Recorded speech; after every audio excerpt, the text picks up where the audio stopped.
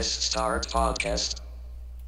And welcome back to the Press Start Podcast. I'm your host Vic, aka Mr. Never Chillin'. This, this is episode number 92, and I'm joined by Scott, aka Scobeywan, Hey everyone, welcome back. and uh, we're also joined by my other co-host, Lunatic Oblivion. Hey guys, how are you doing today? What's happening, guys? Man, it's been a, I think, a pretty crazy week in gaming, and I'm excited to uh, dive into all of the news that we got going on. But before we get to there, of course, we got our uh, games played, and looks like I took the lead here with uh, the most games played this week. so My man's just sitting here playing the Switch extended library, like, yeah, I played a lot. Yeah, I know I did. I actually did. I can't wait to really talk about it for sure. But I just want to kick it off with. Uh, I know we ended last week's segment of this talking about Tears. We're going to kick it off with Tears of the Kingdom. And Roger, how has your playthrough been? Long, fun and long, dude. I just, the game has so much to offer, and it feels like none of it, you know, really gets old. I, I'm sitting here, I'm like, okay, you know, I got this high mountain here, and I'm like, yeah, feel like let's go. This this fucking looks it looks great. I'm excited to get up to the top of the mountain. I'm excited to see, and then I'm doing more stuff, and I'm like, wow, and two hours have passed. Where did they go? yeah, I, I definitely hear you. I've been watching a bunch of people talk about it on there online. They're like, "Man, I got 30 hours invested in the game, and I'm like five percent done with the story." And they're like, "What the fuck are you doing?" Like, there's just so much stuff You're that you can do in the game. so, uh, Scott, how has your playthrough been? Have you been playing it? at all? I, I, uh, I've beaten one temple.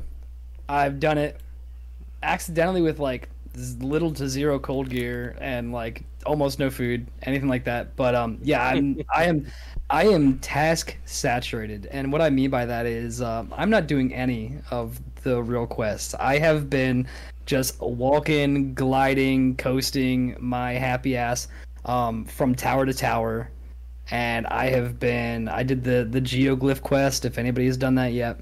Uh, and then what I did is I made it a point to actually go through and find all of the geoglyphs and find the tears, uh, so I could actually get numbers one through eighteen on the story reel because that's like my favorite thing is like this this story has become really really fantastic um, just by catching certain pieces of it and you are yes very new mustache uh, yes, Disney. Very, very new mustache. I'm working on it. But uh, I've I've made it that point because I, I want to know more of the story, and I'm not doing the main quests to do so. I've been working on maxing stamina, gliding, and just making things. So I've I've just like I'll go from one tower, I'll see a tear, I'm like, well, the, but there's a tower over there. I'm I should get that. I should get that first. And then, you know, sometimes you have to do a task to get a tower, unlock it. And I've unlocked everything, and the only temple I've done was the first temple that you get led to. And I haven't done anything else since, just because I've been exploring so much. yeah, that's yeah, awesome. honestly. you finish one and you're like, oh, there's another one off in the distance. So you go to it, and then you're like, oh, there's another one. Let me But go then- do that one. Yeah, and, and but you get up there and you're like, well, wait, hold on. Here's a Sky Archipelago. What's there? Oh, okay, this is another shrine. Okay, cool. Oh wait, I gotta go down there. Okay, yeah, I'll go down there. But wait, no, I'm right over top of that tower, so I'm gonna get that tower now. And then And it's then, just it's it's 88, it's ADD the game. And then you finish your task, and you look down and you see a little Korok, and you're like, fuck. All right, let- where where is where's your buddy? Where is like, he? ah, like, I'm not All doing Fine. Fuck. I just start marking them, and I'm like, I'll be back later, okay? I think the longest the longest task I've given myself was like if you stop at the pony stables, you get your pony points now, right? Mhm. So uh, I got my pony. Check him in. Me and me and Pony Danza are just going around Hyrule, and uh, I got the points for the Melania bed. And then you get visited by the horse god. They tell you to go somewhere, so I had to go all the way up to like the south of Akkala Stables, and then walk my appy ass all the way up to the ponds there. Well, that's a ferry, so I had to go get an Endura carrot. So I had to Kakariko, Kakariko, do that little side quest, get my Endura carrot, go back, and it, it's just been it's been crazy. I'm like, oh well, there's a tower along the way, there's a shrine along the way, and it's it'll take you you know five hours and to do that one. what you're doing. oh yeah, absolutely. I'm like, what was I doing here? What, what, what like where did I start this? Like, Yeah. What what did I do here? Um, but it it has made the game so fun and so enjoyable Mhm. um, that it is it is no surprise uh, everything we've been seeing and hearing about it. Not to mention like just the build feature has been absolutely outstanding. Uh, I feel really really smart, and then ten minutes later I feel really really dumb because I'm like, oh yeah, I solved that puzzle. That was easy breezy. And then ten minutes later I'm like, what? Like what am I supposed to do here? I have no idea. What did I do wrong? Where did I? yeah like i don't understand this this doesn't make sense and then like you sit there and you look at it for a minute and uh, you're like oh wait yeah yeah i'll do this and then it just solves you solve the puzzle you're like man i'm i'm brilliant i'm a genius but man the game has been so good Yeah, so yeah, that's that's great to hear. I'll eventually uh, check out Tears of the Kingdom one day. I got to get through Breath of the Wild before I can do that. But uh, My man removed Breath of the Wild from his list, and he's like, "I'll get through it." Yeah, No, you won't. I I don't know if I will. Maybe maybe one day. But um, just real quick in, in regards to some of the games I have been playing on my Switch, um, playing Pokemon Stadium. I folded. I finally got Nintendo Switch Online. Um, and I've been really enjoying that. I played through like the first like uh, eight battles or whatever, like in the in the stadium. So I won the Poke Cup. I was like, man, this is like reminiscent, like nostalgia, like high right now. It, it's insane because we played the shit out of that game, and then also did some party games as well. And I fucked the computer up really quick. I was like, man, like fuck yeah. But I, I feel like I was gonna break the Switch because like how fast you're pressing the buttons or the joystick and shit like that. Like the Nintendo 64 controller was way more like built. I think for those kind of games as opposed to the Switch, where I feel like I'm gonna break the damn Joy Cons for sure. That's why you Oh, I need one of these suckers right here. Get I do. a pro controller, and you can beat the shit out of this. Full Yeah. disclosure, I almost went out and got one of those the other day just because, like, like I said last episode, I'm not on my original Switch where I had two sets of Joy Cons. I had one charging while one was playing, uh, and I would just swap them out. I only have one set of Joy Cons here. I was like, I'm, I'm gonna go get a Pro controller. I was like, I, I have to. Like at this point, and it's just like everything, everything feels so fragile. Uh, yeah. And then, So um, next on the list. So then the other game though I played via the um, Nintendo 6 or the N64 on the Switch with the the expansion pass was Paper Mario. This was a game that I I feel like I played like like a battle or two like back in the day. So I was like, you know what, I'm actually gonna play it because I know this is like an OG, and I'm like, I'm fucking addicted to this shit already. Like I I've just beat the the Koopa brothers and I just got the first star um that you that you rescue, and then I was like, all right, cool, I saved it and I put it down. But that was like a good like three four hours into the game already, and I know this game's gonna take about twenty like 25 hours I think to to beat according to howlongtobeat.com. So I'm really looking forward to this yeah, journey. this is this is one of those OG games that really took uh, the Final Fantasy sort of genre gameplay into into mainstream for for the Western audience because I think it took a lot longer for Final Fantasy to to really hook on with a lot of people who weren't into the the Japanese gameplay sort of field. The the Paper Mario was one of those one of those quintessential experiences where everything you got felt useful. Like you had moments where you're like, "Well, how do I get this item? How do I do this unlockable? How do I go here?" And you're like, "Oh." Yeah. Three three bosses later, you're like, "Oh, I just use Goombet over here, and we do this. Wow, Right. this is awesome." Yeah, I started to just- notice like certain things. I'm like, how the fuck do I get to there? And I start unlocking like different abilities or different characters that have different abilities, like getting the the, the um the Goomba who can like tattletale, and then like the bomber who Yep. can blow up walls, and then uh, the the Koopa where you can just jump on in and make his shell break some or reach items that you can't reach. And I'm just like, Mhm. this shit just all makes sense. So, been thoroughly enjoying that. But something else that I wanted to talk about, Roger. We really enjoyed this the other night. We caught a Warzone dub Yeah. and I wasn't the one that carried us to the victory. You actually got, brought us in and clutched it up with with the heart racing like crazy. How was the experience? I got to the top eight and I was like, I have no shields. I've got nothing going on here. Some dude downs me when I'm coming down the hill. He stops shooting me, turns, and then just forgets I'm there. Like he he he knocked me and I was like, wait, I'm not dead, bud. So He might have thought maybe he thought the other one was your teammate and was trying to go for the team wipe. But that's Yeah. the dude. That's the adrenaline. You, no shield, Yeah. like almost no bullets. Time to shine, baby. Yeah, no, it was it was a pretty crazy fight. I I think I went six uh six and one in that match. it was, it was definitely crazy. stressful. Yeah, shit was Wasn't sweaty it as fuck. It was our first game also under regular Warzone as well. Like Mhm. we were we were playing on freaking on the island forever, and then we are like, let's just go back to normal Warzone. Well, it's because they, they it it's it's because they, they adjusted the playlist to make it more difficult. It's like if you want to play Resurgence on Ashika, you can only play um like trios, uh, trios, yeah, yeah. solo and trios. But if you want to play trios or uh, duos and quads, you got to play massive Resurgence tri- uh, those. And I'm like, why can't we just have all the goddamn playlists and let us pick however we want to play? Like you're just pissing everybody off. It's annoying. Thankfully, I still have the resurgence solos for like the times that I actually can get on and play. But dude, getting in with people trying to do a, du- a duo is just go back to Ashika. It's it's it's dog. Yeah, it's it's fucking trash. So they definitely need to fix that up. Um, but another game here on the list that I also did play on the N64, but from the N64, but this time it wasn't on the Switch. It is via Xbox because it was the free game with gold um, with the month of May, and it was the Star Wars Episode One racer. I touched on a little bit last week, but uh, I really went ham in this game lately, and I'm just been winning all the races, doing all the tournaments, unlocking all the parts, and I'm like, you know, like I really used to do this as a kid. Like this was my game. Like I mastered this game as a kid, and I feel like I picked it right back up. And I'm like, I'm fucking everybody up. Like I'm never losing a race. I'm never going to lose. Riding that bicycle, absolutely. That's such a good game. I'm I'm super jealous when I saw this in your list. Yeah. And I was like, man, he's just he's been having a blast. Yeah, it's, it's definitely been great for sure. And uh, Roger, because do you have Xbox Game Pass Ultimate or is it just uh, the PC Yeah. one?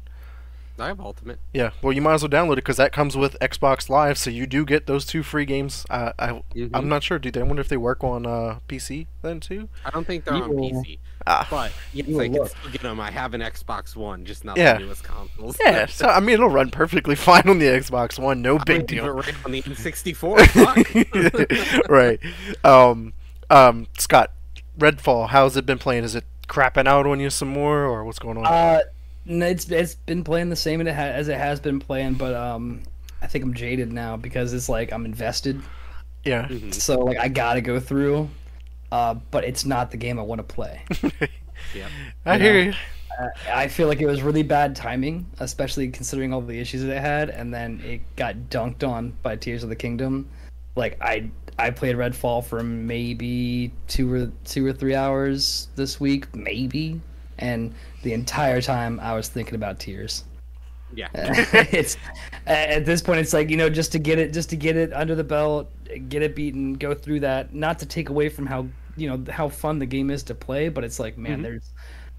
It took a week. There's better games. There's other games I want to play, like that. Yeah. I'm much, much more immersed in. For sure. Yeah, I finished my list this week and I went, huh. Tears of the Kingdom. That was it. I, I spent every hour that I could on that game. Yeah. Every time, I- and and I've gotten no farther in the main quest. Yeah, same. I, and everyone I talk to beats the same temple, and it's like it's, it's the wind temple every time. everyone's like But- they do win temple, and they're like, you know, I'll come back to the rest of the temples later. And it's like, yeah, I, I feel it. I- I- I- so good. I noticed this is a uh, strong character- characteristic of Scott. When he plays games, he doesn't play the main game, the main storyline. He just plays everything else except the main storyline. I I just go and I explore, especially in open world games. Those are Yeah. my favorite. The open world RPG, do it your damn self. Like that's that's my type of game. I love those games, uh, and this has just been top tier since since the minute you hit free roam. Uh, like the minute you hit free roam, you can, you know, you st- if I'm rolling through like my TikTok or like I see reels and stuff like that, like, oh, did you know you can get this first game, first thing in the game? I'm like, no, I did not. And Let me go do I went and it. and then I went and got it. yeah. Uh, like, did you know you guys can go right into Hyrule Castle? You can get your champions leathers first thing. Yeah. Immediately, and then and then the Shield of Hyrule, like everything like that. Like, there's still and and I know there's still so much to explore, and there's more power to get. Like, have you been attacked by the hands yet of the gloom? Because yeah, that's I've killed them twice now. I, I run because that's a bad fucking time. You, Uh, you pick up some really nasty fucking weapons. I got one that does 67 damage right now and Yeah, 66 like- damage, and I'm like, let's go. so, uh, it's just been- not to that's cut- what I do, and this has been just this has fed that addiction right, so bad. right. I, I know we could sit here and talk about Tears of the Kingdom Oh, all oh, day yeah. long because it, We'll get it, it's later. arguably game of the year, and we're going to see why. But Roger, um, Coffee Talk Two or Coffee Talk One, I should say, finally beating it. what was your experience like? You really enjoy it? Are you excited for Coffee Talk Two? I think for uh, what it is, this was an amazing game. Like I, Disney said it best last night when we beat it. She's like, I, I don't think it's a 10 out of 10, but I couldn't tell you how to make it better. Like, I, I hear you. literally, You know, I that's hear a, you. yeah, that's that's it. What did, let me see what I gave it. I forget what I gave it because I always write You- it. you gave it you gave it like a you gave like a seven, a Seven. six or seven, I think it was. Yeah, Which eight, eight out of basically ten. a I 10 gave out of 10. I, I gave it an eight out of ten. So it, Oh, it was eight, it was a great game, in my Yeah, opinion. And same. And like for me, I was like eight or nine out of ten. Like it was really good. They explain all the mechanics for things. Like in story. So like the fact that you sitting behind the controller, they want it to be you in the game. So like Neil, for example, breaks that wall and he says, you know, I know what you are, and you're like, oh shit, shit, I don't even know what I am. And he's like, you're clearly this, and you're like, fuck, Yeah. yeah, that makes sense. And like the ability to just load a save your game, load the game, change the days, change your choices, change the drinks you give people, like the fact that it's just so well written in my opinion, I just I want to know what's next. Where Right. does the story go from here because they clearly explain that they're like I don't want to spoil Right. the game. The game is from 2020, but like at the same time, I don't want to ruin it for anyone who hasn't picked up the game yet because this is really getting its acclaim because of Coffee Talk 2 coming out. Right. And I don't want to ruin Coffee Talk 1 if you haven't played it, but it is truly an amazing game. Right. If you like to just turn your brain off, like you need something to t- calm down at night, something to quiet to relax to, you don't want to truly read a book. This is it. It's a great story. The soundtrack's amazing. The story actually just it feels good. All the characters generally you feel you feel connected to these characters, their plights, their stories Right. and you want to see them succeed. Right, and it was crazy because like um Freya, um the the writer who's writing like the the book or whatever Freya, yeah Freya, sorry.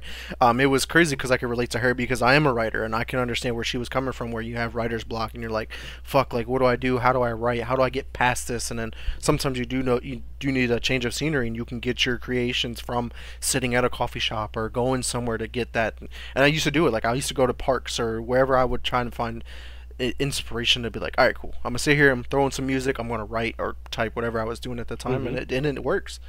So yeah, that that game was definitely a lot of fun. I'm glad you enjoyed it. I did also beat two games this week. I finished up Genesis Noir because that was a game I was playing before Star Wars came out, and then Star Wars came out. and I was like, mm, that game just hit the back back burner because it, just it just couldn't take it away. But Genesis Noir, dude, like you got to check this game out. You have Game Pass, Scott. You have Game Pass. Really fun game. This game is man, really yeah. it's really fucking trippy, but it really takes you from like basically the premise of the story is like you watch how the Big Bang happens, and then like they're theorizing like how the Big Bang is going to retract on itself, and like it's all theory, but like it's it's crazy how it's like you're going through this explanation through like a crime scene of a bullet coming out of a gun. I don't know. It's it's really fucking dope. I would definitely check it out. Um, other game I did beat was Ra- Ravenlok, which just released uh, like what last week or whatever. It's a really quick Two game weeks ago, Yeah, yeah. Yeah. it was two weeks. Yeah. it it's like a four hour game. It just played fucking perfect. Like it, I gave this one a nine out of ten. Like I, I'm, I'm exactly how Disney Princess felt about Coffee Talk with this game.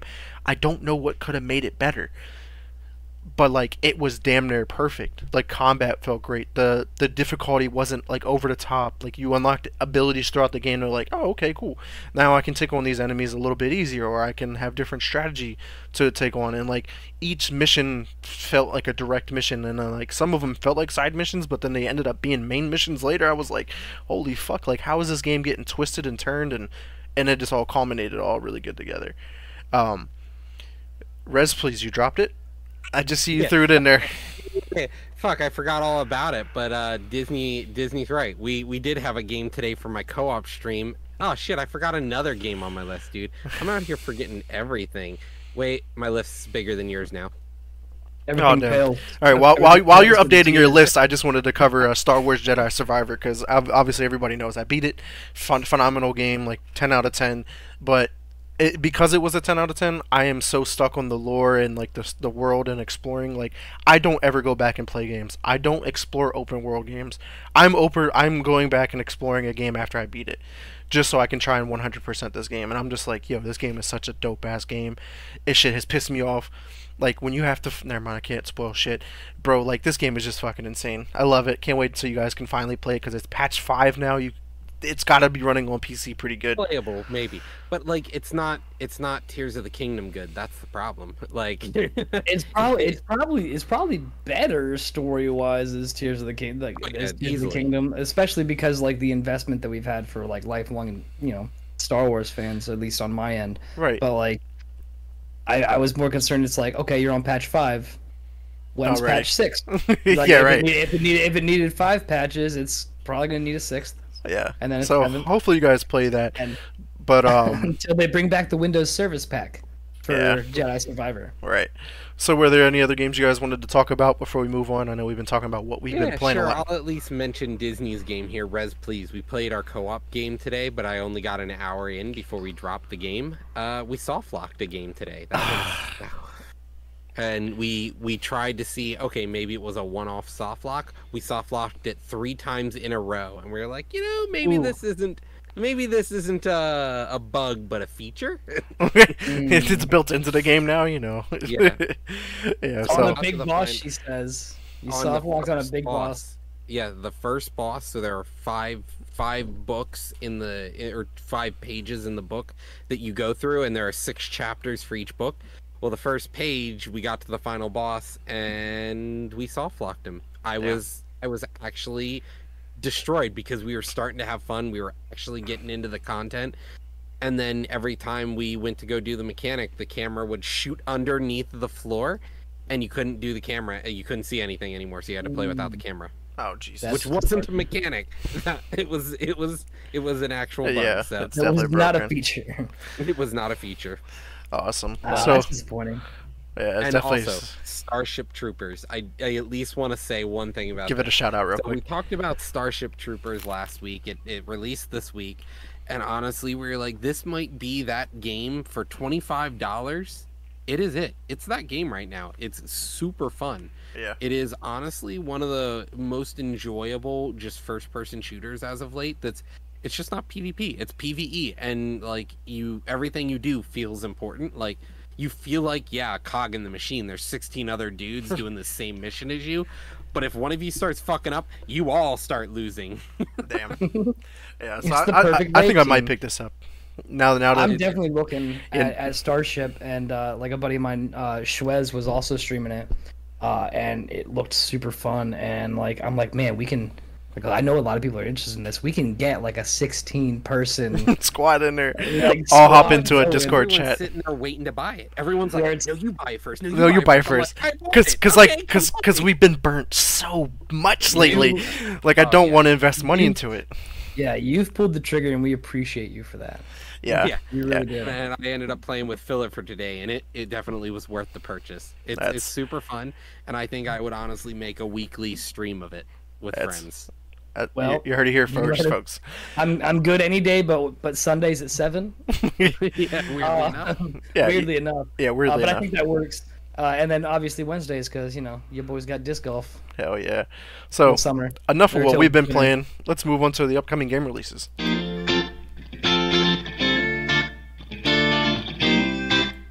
All right, Roger. So we actually got a much bigger list than we have been getting the past couple of weeks. Kick us off here. What's going on with this upcoming game releases? Sorry about that. My Discord just dropped. I'm back. yeah. So yeah, if you want to kick us off here with uh, what's going on with the upcoming game releases, because we have a bigger list than normal. Yeah, we actually have quite a few. Not very many of them that are really truly, uh, I'd say, wallet bursting games where you're going to want to go for them. But we actually have the second League of Legends game, like solo, like uh, story game to release within like two months. Mhm. It's actually quite surprising that Riot Games has now had two League of Legends story games. Convergence, a League of Legends story, now focuses on another one of the mid lane characters for the game. We now have a game on Ekko. So the idea is being able to uh, you you look at different objectives, you try to work your way through the level, and when you fail, you reverse time and you try again. So that's one of the first games I saw on the list this week that I thought would be interesting to bring attention to. But let's go through the full list. Inkbound, a PC game coming out on May 22nd, uh, is the first game we'll see this week. Not much that I have to say about this game. It just looks like a small indie project that's coming out here. Um, but we have After Us. After Us is for PS5, Xbox X and S, PC, and that comes out on the 23rd. That is a next gen exclusive game we're talking about here, I believe. I don't think this has come out for. No, this is next gen only. So this looks interesting. We saw this actually at uh, the Game Awards last year, as well as the Summer Games Fest, I believe. Mhm. Um, we have after that Amnesia, uh, The Bunker. So this is the next iteration of the Amnesia series. This comes out for PS4, Xbox One, PC, and the X and S. This actually does not come to PS5. It looks like, which is quite surprising for a game to only come to PS4 and not PS5. Next up, we have probably my next co op game for me and Disney called Bread and Fred. Bread and Fred is a two person Ice Climbers clone game where you work as two penguins trying to navigate through a, uh, a, uh, a platformer style game. And you're tied with a rope, able to sort of swing each other from from place to place. Aw, this is a knockoff of Unravel 2. Unravel 2, uh, which Yeah. is a knockoff of Ice Oh. Climbers, I guess. Yeah, I Yeah, gonna say guess. this is totally ice No, climbers. This is no. 100% ice climbers. Yeah, this is Ice Climbers, my man. I know. But there's there's that game. Uh, it looks quite interesting uh, for a small indie game. hmm Um, I don't think it's by a big studio, actually, is it? It is by Sandcastle Studios and published by Apogee. Mm. Next up, we've got, as I said, Convergence, a League of Legends story. This comes out for all consoles, uh, including Switch, on May 23rd. And then we've got the OG, the game of the week, Farming Simulator 23. This comes out for Switch, iOS, and Android. So we already had it on PC, but now get your fill on all of your mobile devices on the 23rd. Can't wait to farm Next them up. crops. You wanna know what that Can't makes wait. it? No, no It's jokes. a proper pooper. It's a proper pooper. You're right. You're Yeah. right. You're right. We always got to find our proper pooper of the episode. One of these times, there's always a proper pooper in the Always. episode, for sure. Everyone, but at the end of the day, you always go back to MTGA. That's the real pooper game right there. Or just read a book. I don't know. Or just take the switch in. Yeah, just take the switch in. The I mean, Switch I guess I did. we had our proper pooper last week. That's what I was gonna say. Yeah, if you if you can get if you if if your legs can handle being there for a few. Yeah, but hours, say uh, if you're playing Tears of the Kingdom on the pooper, you might be there all day. Your butthole might not like you. Yeah, eventually you just won't be able to get up. Right. Uh, next up, we've got Miasma Chronicles. Miasma Chronicles looks like a first-person shooter here. This looks good. Uh, the United States has fallen to a mysterious event called the miasma. The miasma is spreading across, and you take uh, take control of a few characters or a character inside a mining colony in the now ruins of the United States of America. Um, this is for next gen only. So this is going to be on PS5, XNS, and PC only. yeah. This game looks really good, Roger. This is actually we, Yeah. me and Scott talked about this game whenever you Yeah. were away for like a month or whatever it was, and we were like, man, we really wish Roger was here to talk about this one because this one seems like your kind of game. It actually looks like it has similar play uh, gameplay to Mhm. like Wasteland.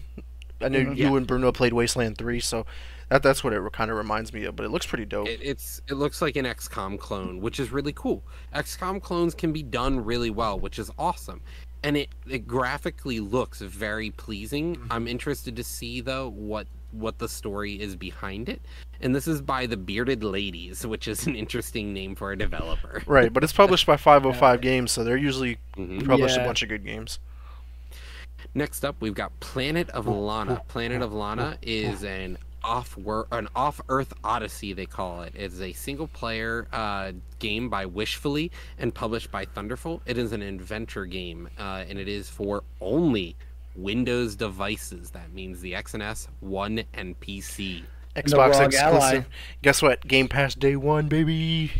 Hey, that's what we're looking for anymore. If you're not, if you're a Microsoft game and you're not Game Pass day one, then you're kind of jipping us anymore. If Microsoft releases a game that you have to pay for now and not get it on Game Pass, honestly, you kind of feel gypped. Right. I'm super excited for this one. It looks Mm-hmm. beautiful. Like I'm super pumped to play this game and stream it. All right, and then we've got three games left on the list here. Um, one of them is kind of, I think, probably going to take the cake this week, but we do have Star Trek Resurgence. This is just a small, uh, smaller game. Uh, it is for the PlayStation 5, Xbox X and S, PS4, and Xbox One and PC. It is a Star Trek story game. Um, I don't have much more to say about it other than that, and that also comes out on the 23rd. Now, leaving the 23rd, we enter the 25th of this week, which is Thursday. Thursday is going to have two games. One isn't really so much a release as a um, finishes being uh, early access, Hello Neighbor Search and Rescue releases for the PlayStation VR 2 and the PlayStation VR now. And you can find that on the 25th of this week. The Lord of the Rings, though, has their newest game launching on Thursday. Game of the Lord of the. Rings Gollum. Nah. I know, I'm joking. I'm joking. Uh, this is honestly going to be an interesting game. I don't think it's going to be game of the year worthy, but it's definitely going to give us some insight on some of the time, you know, during the Lord of the Rings movie on th- some of the things we didn't get to see.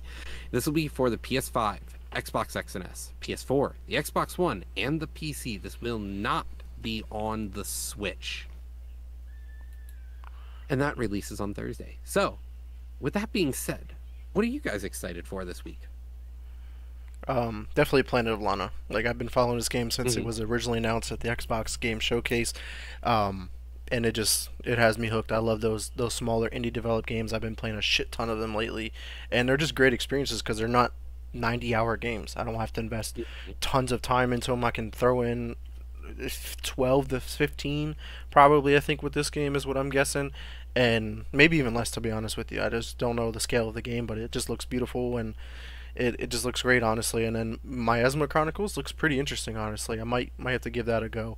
Um, and I'm probably going to hold off on Lord of the Rings Gollum. I don't think that's going to be a $70 investment for me cuz I'm pretty sure it's a $70 game and I'm not dropping $70 to a game that I it's not looking good already in my opinion. So I'm gonna wait and see. Maybe catch it when it's on sale, like for 20, 30 bucks or whatever. Then maybe, maybe That's how I feel about the Star Wars right now. Which sucks because Jedi Survivor is like it's up there with Game of the Year. It's Mm-hmm. regardless of the issues with PC, but on console and stuff, it's running fucking Now, I want to make one note here that I think you may not have realized. Gollum is only going to be a fifty dollar 50. game. Okay. This is a substandard pricing. Yeah, still not investing fifty dollars into it. Yeah, same. Me neither. I have fifty dollar, twenty five of it, and you can have Starship Troopers instead. Mm-hmm. Exactly. What about you, Scott? Which which game here on the list is uh are you excited for? Alternatively, against Rogers Point, for seventy-five dollars, you can have Starship Troopers and Lord of the Rings Gollum. So, for five extra dollars than what you would normally play, you get two games. That's a that's a steal. Um, but my answer still remains the same as last week. It's going to be Tears of the Kingdom. Can't wait to play that. uh, we're done here. No, uh, but in all seriousness, I, I really, I really am excited for Lord of the Rings Gollum. I really am super interested to to visually get uh, that lore. Um, you know, J.R.R. Tolkien made such a, a rich world there, and you know, uh, everybody but Amazon's didn't, you know, just been really, really good at it. That's a joke. Amazon's been okay with it. Um, so that's that's the one I'm gonna have to give it up to this week. Uh, just because I, I do, as a Lord of the Rings fan, I mean, I, I want to see that. Uh, Inhuman Line asked a, a good question. Uh, you know, is it going to be a stealth game? It looks like there's like stealth, some different aspects here, but like the mainly like 90% stealth sort of deal, um, which kind of gives that allure a little bit, where it's like you know you're witnessing a lot of stuff. Um, Miasma Chronicles looks really really good. We had talked about this, like Vic had said, uh, one of the week one of the weekends that you weren't here, um, and we did wish that you were there to, to like to talk about it and see you know if you know the hype and see if it was there. Um, leave Amazon Amazon alone. They weren't allowed to use the full material. They paid like two hundred million dollars. They can use whatever material they want. They- You know what? If they're if they weren't allowed to use the full material, at least they use the stuff that's good. Um, Yeah. So, uh, you know, we'll see. But um, no, it- it's it's got to be Lord of the Rings for me this week. Uh, but I will probably be downloading Farming Sim- Farming Simulator. Really? Are you, are you serious? he I- he lives yeah, in Lancaster I- now, I- man. He lives he lives in the farm. I, I, it's it's it's literally right next to the right, right I next to mean, me. he could Like, touch grass instead of paying to touch fake I will be grass. touch. I will be touching. No, okay. I will be touching grass all this upcoming weekend. Which, for any viewers, uh, I will not be here next weekend because I will be touching grass. But you know what I'm gonna be doing when I'm touching grass? Playing that Switch, playing Tears of the Kingdom on my downtime. so, So you're still not touching grass. I understand. Got it. Cool. still, I'll be touching grass, but metaphorically. But Metaphorically. yeah, Yeah. It, for for me this week, it it had to be Gollum. Uh, After Us looks good, uh, but it's it's gonna go Gollum for me just because of you know pulling at the heartstrings. For sure. Yeah, no, that's completely fair. All right, guys. Enough of uh, the upcoming game releases. We got to get into industry news because boy, do we have a lot to dive into, guys.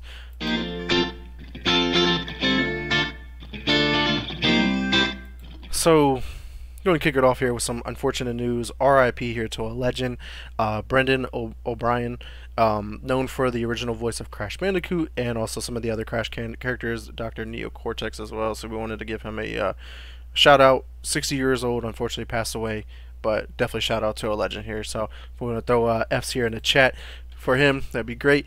But let's move on to what we're all here for. I mean, every week we got a new update usually in regards to this is Microsoft and Activision Blizzard. And boy did we get some big, big news. the world will never know. Um, the EU has approved a deal, and that's fucking huge. And because of this, um, they also said that making COD an exclusive to Xbox would not significantly hard competition, and that's going to against everybody's opinion right now. And you're like, these guys don't know anything about gaming, I Yeah. guess.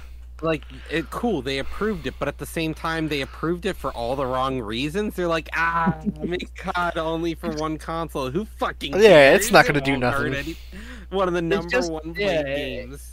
It's just COD. There's plenty of other shooters out there, I'm sure. There's Fortnite, right? You know.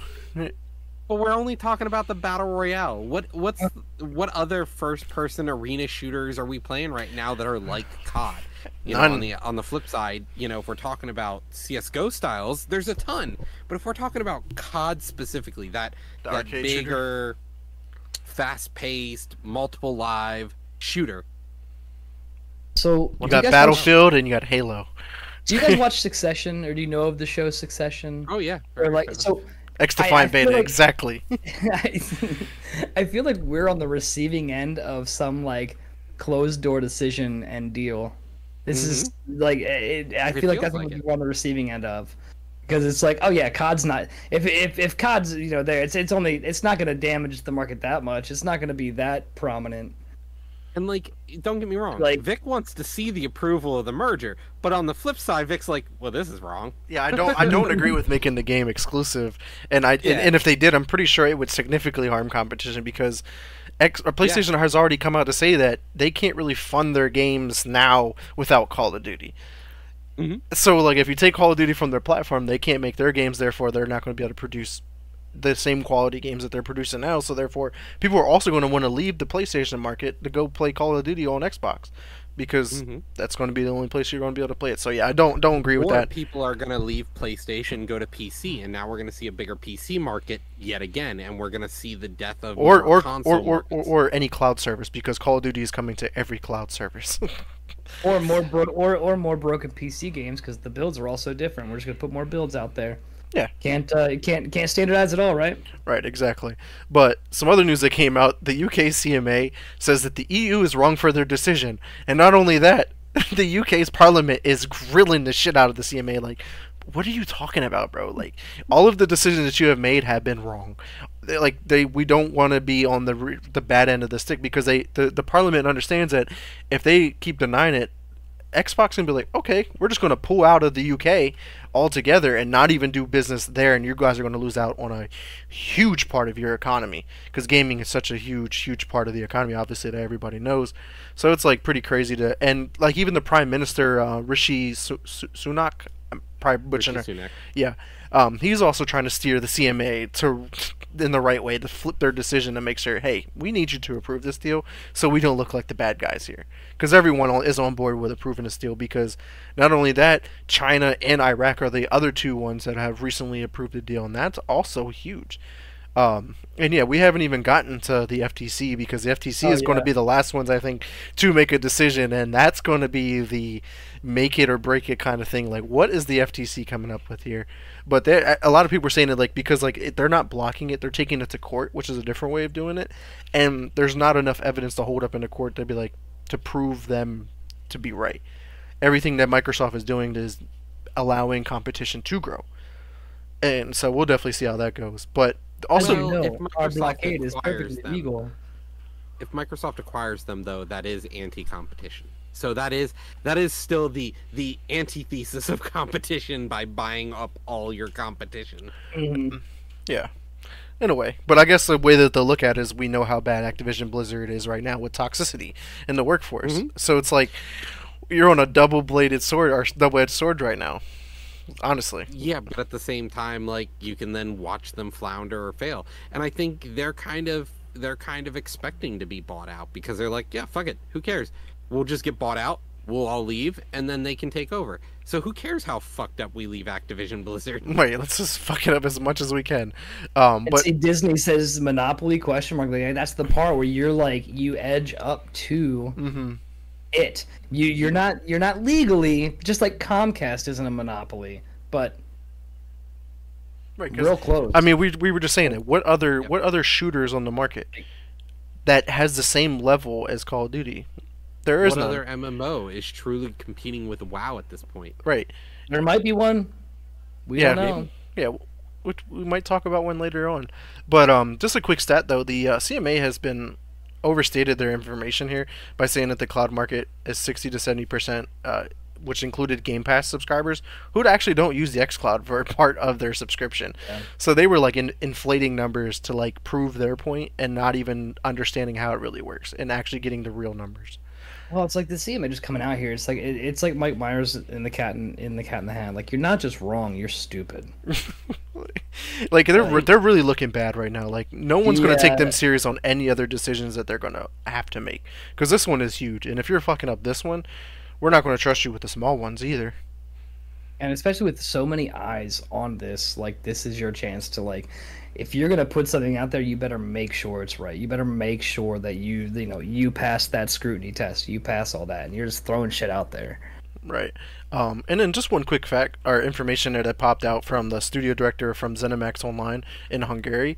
Um, he said he wants to work on Activision Blizzard IPs, and then like the other studios that Xbox owns are excited for this acquisition because they understand how many IPs that Activision Blizzard actually owns that have been dormant for such a long time.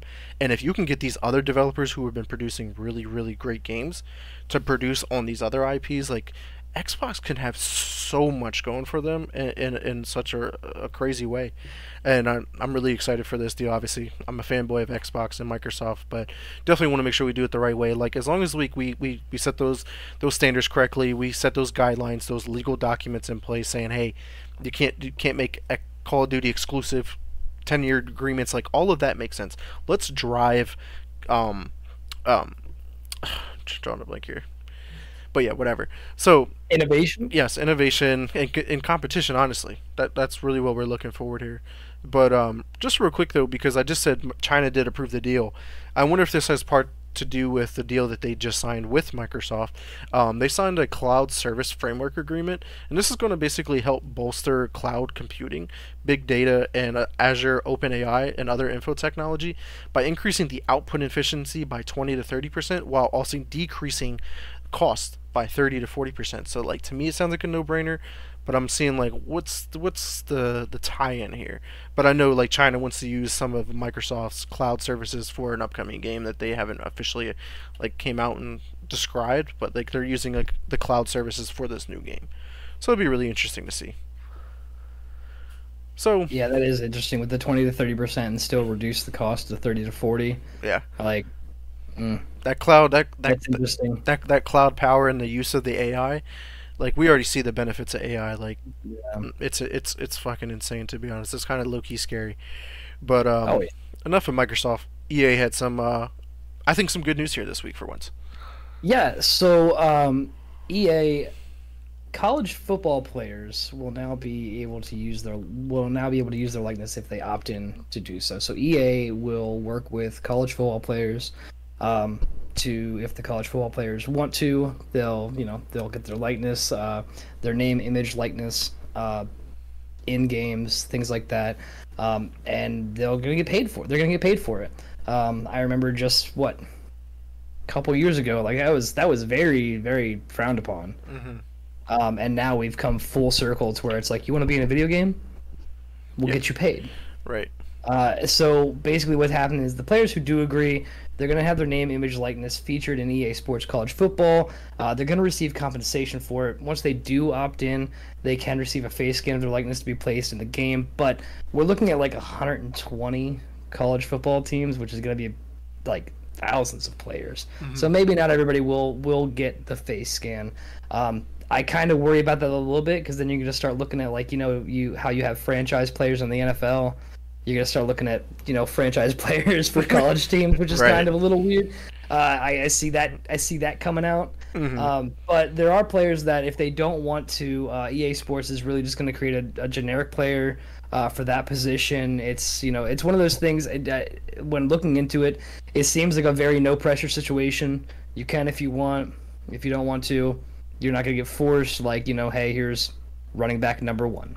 Right. Here's running back number two. Now I don't think running back number one is going to say I don't want my Right. likeness to be used. oh yeah. But that goes into that little scary part earlier when you talk about quarterbacks, RB ones, wide receiver ones. Like they want their name out there. right. And that's gonna. You know, I, I worry a little bit about like, okay, well, how much money did you bring in when you were in college? Because now that's how much Right. money you could reasonably bring in to the franchise in the NFL. So like, is that going to be like another drafting Yeah. Piece there? Um, And then so like little- think about it too. Like weird. how many years like do they spend at college? Like some of them go one and done, and they're moving on to the NFL. Or like are players going to want to stay four years and get that check from the the NIL deals, or do they have to stay there? That money. Yeah. Yeah, like if somebody who originally was already NFL ready by year two and wants to go early draft, well, now I know that I can at least get four more years out of playing at, you know, LSU or Arizona or playing for the Gators. Like I can do that for three more years. Maybe work, maybe work a draft deal, maybe kind of figure something out. There's a lot of stuff, but I mean, when it comes down to just being able to use the likeness, get paid for it, good stuff come out of there. Lots of questions, but that's for another style Yeah, yeah, for sure. podcast. So Roger, CD Projekt Red was in the news again, and this one Yeah. not so good. Again, Yeah, so CD Projekt Red has decided to rescope their Witcher spin-off game called Project Sirius. They decided in doing so they're going to have to lay off 29 of their employees. Uh, this mostly impacts the developers at uh, Molasses Flood, the American studio that was behind the flame in the flood. So just a small change there. They're they're rescoping projects because probably due to the fact that they failed with uh with their you know with some of their releases for I don't know cyberpunk right. money might not be where it needs to be so Yeah, makes sense. So, Super Mario Bros. We know this this movie has been fucking phenomenal, and some crazy stats that released this week. It has became Mexico's highest grossing film of all time. I don't like Mexico is Mexico, whatever, but like still, Super Mario Bros. is the number one movie ever in Mexico. Is me personally, I think this is mind blowing in a way of all movies. But um, Mexico's gross sitting is at 82.4 million, and the worldwide gross art is around 1.2 billion dollars. It is a 23rd highest grossing movie of all time in the world. What's your guys' takes on the movie? Is this does this surprise you, or is this like okay, this movie was that fucking good? no it, it doesn't surprise Shit, me Avatar. Shit, Avatar, yeah. Shit, Avatar. It's not the catching way it. crap dude uh, yeah no honestly this this doesn't surprise me it was geared towards kids they did really well it felt like a disney a disney sort of pixar level animation for a movie. Like it it really felt good. And the star cast really brought out what was you know truly amazing about this movie. And it goes to show that yeah maybe you can do video game movies because like they've always been memorable. You know hey the tomb raider movies they were memorable. Mm-hmm. And and the game came first and Inhuman here has a great point. It's already available to rent and to buy, which is fucking mind blowing because the movie is still in theaters. It just they- dropped in theaters not that long ago, and the fact that it's already available to buy and rent digitally, like it's crazy. I remember when you used to wait like six to ten months to wait until a movie came out on DVD or VHS or whatever the mm-hmm. time frame we were looking at, and it's just like, yo, the game is already or the movie is already available to, to buy and rent, and that's just going to add to the mm. dollar that this that this game is Yeah. raking in or movies. We're raking in. looking at like we're looking at Frozen type popularity here. Yeah. This is gonna be a game. This is gonna be a, a game. This is gonna be a movie that like you know kids are gonna watch with breakfast, lunch, and dinner. Or oh the oh the kids are acting up. Or hey let's just let's let's distract the kids. Like throw on Peaches, throw peaches, on throw, peaches. peaches peaches peaches. Yeah, throw on Super Mario. And we had talked about this when you know we were first looking at the numbers, like once again, you you know it's gonna be your Frozen type movie where your kids want to watch your kids want to watch this. Like Inhuman said, yeah, it bought that fast for the kids, but how many times have you watched it? Inhuman. How many times have you sat there and watched it? Because it's one of those things like geared towards somebody, but really made for other people, for other audiences. Like Legend of Korra might have been made for kids who were watching Nickelodeon at the time, or it might, might have been geared towards them, but it was it was made for people who were Yep. friends of like like fans of Avatar: The Last Airbender. Like, so I think this is just one of those things where they hit every nail on the head first try. and they didn't alienate their audiences of the different age groups or the different uh, backgrounds like you had you know full grown adults with no kids going to see the movie and you had adults with you know their three kids watching the movie in the theater like Yeah. it was it was meant for everyone you know people who played super mario in their youth people who you know they play the new mario games people who only know mario because he's in smash bros Or or or play people who go back and play Paper Mario from 30 years ago. Paper Like Mario my for N64, if you if you want to play that 20 years after it drops, absolutely. And we had talked about that. This is the like one of the ultimate family friendly movies because everybody knows Mario from some aspect of their life. yeah. and very little pandering. It's a very straightforward movie. It has its references. It has everything like that. It is a fun beginning to end movie. Jack Black killed it. Thank God for him, or this movie would have failed. Um, so, not actually. You know, I got I got to back up my boy. All right. So let's move on here to some interesting industry news here. Stanford at the Brainstorm Lab has put out a new study, and it goes to show that Republicans are full of shit. Talking head Republicans right now in, say, Congress and other locations like the House. Just, they don't, they use this as a scapegoat for gun violence. And Stanford Brainstorm Lab has said that there is no reputable link between playing video games and real life violence. According to the Gun Violence Archive, there have been 200 mass shootings so far in, two, in 2023 in the US. Across the last three years, there have been more than 600 mass shootings on average per year. That's roughly two per day, resulting in a tragic loss of life. But over the years, people have been attributing that maybe it's video games and the rise of video games shooters you know and making them like fortnite as a you know focal point in kids lives kevin mccarthy once said uh, but the idea of video games that dehumanizes individuals to have a game of shooting individuals and others i've always felt that is a problem for future generations and others. We've watched from studio uh, studies shown before of what this does to individuals. And that's not true. We we have a study right now saying that's not the case. Video games don't do that. It actually sometimes helps kids to deal with those issues, those those problems that they have. The study has no casual link. Uh, there is no casual link between video games and real life gun violence. Fortune adds that playing violent video games does have an association with aggression, but not violence. So people are more, yes, apt to be maybe aggressive, more, more out, not outgoing, but more forward in their in their feelings in their in their the way they act in society.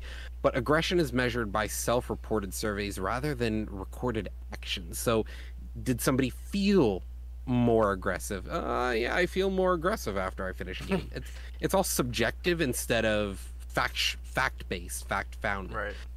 Um, and the study then looked at the tracked changes in violent crimes alongside the tracked release of so called violent video games. Researchers used between the two. In fact, it said that there was a mild decrease in real life crime following the rise in popularity of video games, with a suggestion by researchers that video games may actually be an outlet for aggression, not the cause thereof. If people are too busy at home playing video games, they're not outside shooting up people. That's like a no-brainer. You know? I mean, Yeah. yeah, it, it's And- it's it's finally the answer to that. Yeah, and there's also one last thing that they found. The research also went out to point that there is a positive benefit to video games, emphasizing that they are beneficial to your world outlook, your mental health, as well as your development of your mental capabilities. Those who played video games had a better problem solving skill, improved self esteem, cognitive abilities. That just it in- decreases depression, stress, and loneliness, especially in modern games. Yeah, so I I can I can definitely account to that because like I deal with anxiety and one way for me to decompress of every all the stresses to play video games. Like, hey, I talk to mm-hmm. my fiance like, hey, honey, I need to play a game for like an hour or so. Oh yeah, that's fine. Go right ahead, because she understands that I I need that to just it, it mellows me out. Whether I'm shooting people in Call of Duty or if I'm hopping into coffee talk and just vibing. You know what yeah, I mean? coffee talk makes me want to go shoot up a coffee, Yeah, yeah. coffee shop. So yeah, excited. yeah. Like, oh man, I'm so mad. Neil, dude. Fuck everything Fuck Neil. character. Fuck I knew you'd be excited once you uh, No, no, find no, out who hey, Neil was. fuck Alien. like, Fuck Neil and you. his illegal alien status. Yeah. But so, as a kid, do you guys remember just having this pounded into your brain? Yeah. Yeah. I Like, remember my parents it. saying like video games are bad for you and I was like, okay, but reading isn't. Yeah, they're gonna rot your brain. They're yeah, like oh, kids, kids these days, ever ever since Grand Theft Auto One and Two came out, have been driving around killing hookers and taking their money. like very clearly, it, it was this. This is this Honestly- is this is it. This is this is the one. This is the exonerating study, because you have not just Republicans, not just Democrats. You have you know that that party who want to find something to blame, want to look at this, want to want to to blame something, And I think Um, I think the biggest issue here we're also missing is that like video games have been around a lot longer than the actual cause I think with many of our societal issues. They've been around they've been around for longer than we've been alive. Or Vic and And- I have been alive. Mm. And same with you, I'm pretty sure, Scott. Oh, wow, okay. Scott's, Scott's the old head, you know. well, they're about 35, 40 years old now. That's Yeah, that's we grew up with video games, honestly. Yeah. Absolutely, but so what? You know, and and without getting too far into this, because we could go This could be a whole episode. shoulder deep. Like you know, there's other things that had happened in society, like you had said, when video games started coming around. Like you know, there there's a rise in mental health issues. There's a rise in like being able to see those things. There's a rise in being able to identify those things. And Yeah. if they want to sit here and blame video games for gun violence, like. Uh, fuck that because I don't know if you got about you guys, but I played number crunchers when I was a kid or number munchers. That Yeah. shit didn't ma- that shit didn't make me any better at math. So there's no way that this is gonna make me like more violent. Like, and there's natural tendencies and things like that, but it's like it proves that this helps you. It's a it's scapegoating. It's it's a It's strong definitely exactly scapegoat. what it is. Exactly. It's, it's at the end of the day, you know, we're not looking at some of the true issues here we have, and that's say social media and the and the idea that everyone needs yeah, even us. Don't get us wrong. We're running Oh, a yeah. podcast. We're looking for fame. Everyone is. But you know, yeah. everyone trying to get famous, everyone looking at like, oh, I need to be better. This person's Right. better than Comparing me, you know. comparing lives to other people. yeah. Oh, they And got a new the thing. car. Oh, they got married. Oh, they had well, a kid. and Yeah, that's like that's that, a whole. that goes with another study where it's like you like you know they've they've done studies where like mainly uh younger younger teens Mm-hmm. preteens 12 to 11 to 14 something like that you know they they have a much higher like the, many people have uh, tested much higher for you know depression things like that because of this uh you know i'm only going to post the good shit culture that we have Yeah. um, Like, it's and- yeah.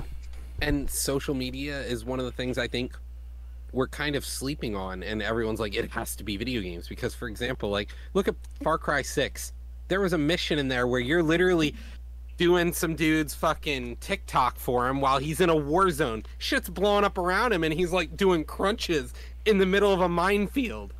And yeah you're like I- you know people are doing this shit real life. Like it's if you not yeah, a if, joke. if you want a really good parallel actually to like the power of like the social media and and what people Mhm. care about and look at um childish gambino's this is america music video.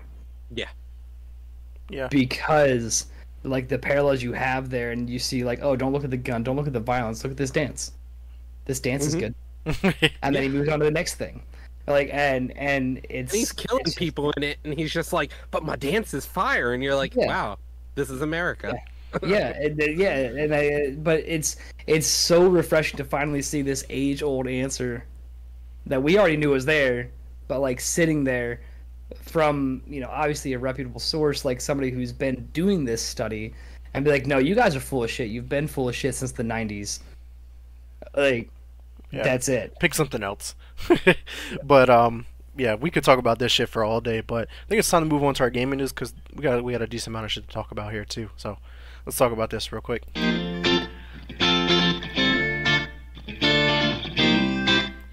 So, of course, I'm gonna kick it off here with uh, Xbox got a bunch of new updates this week. First part is their deals. Obviously, they signed those 10-year agreements with a bunch of their cloud services, and uh, the first one is starting to begin, and it already has began on the 18th.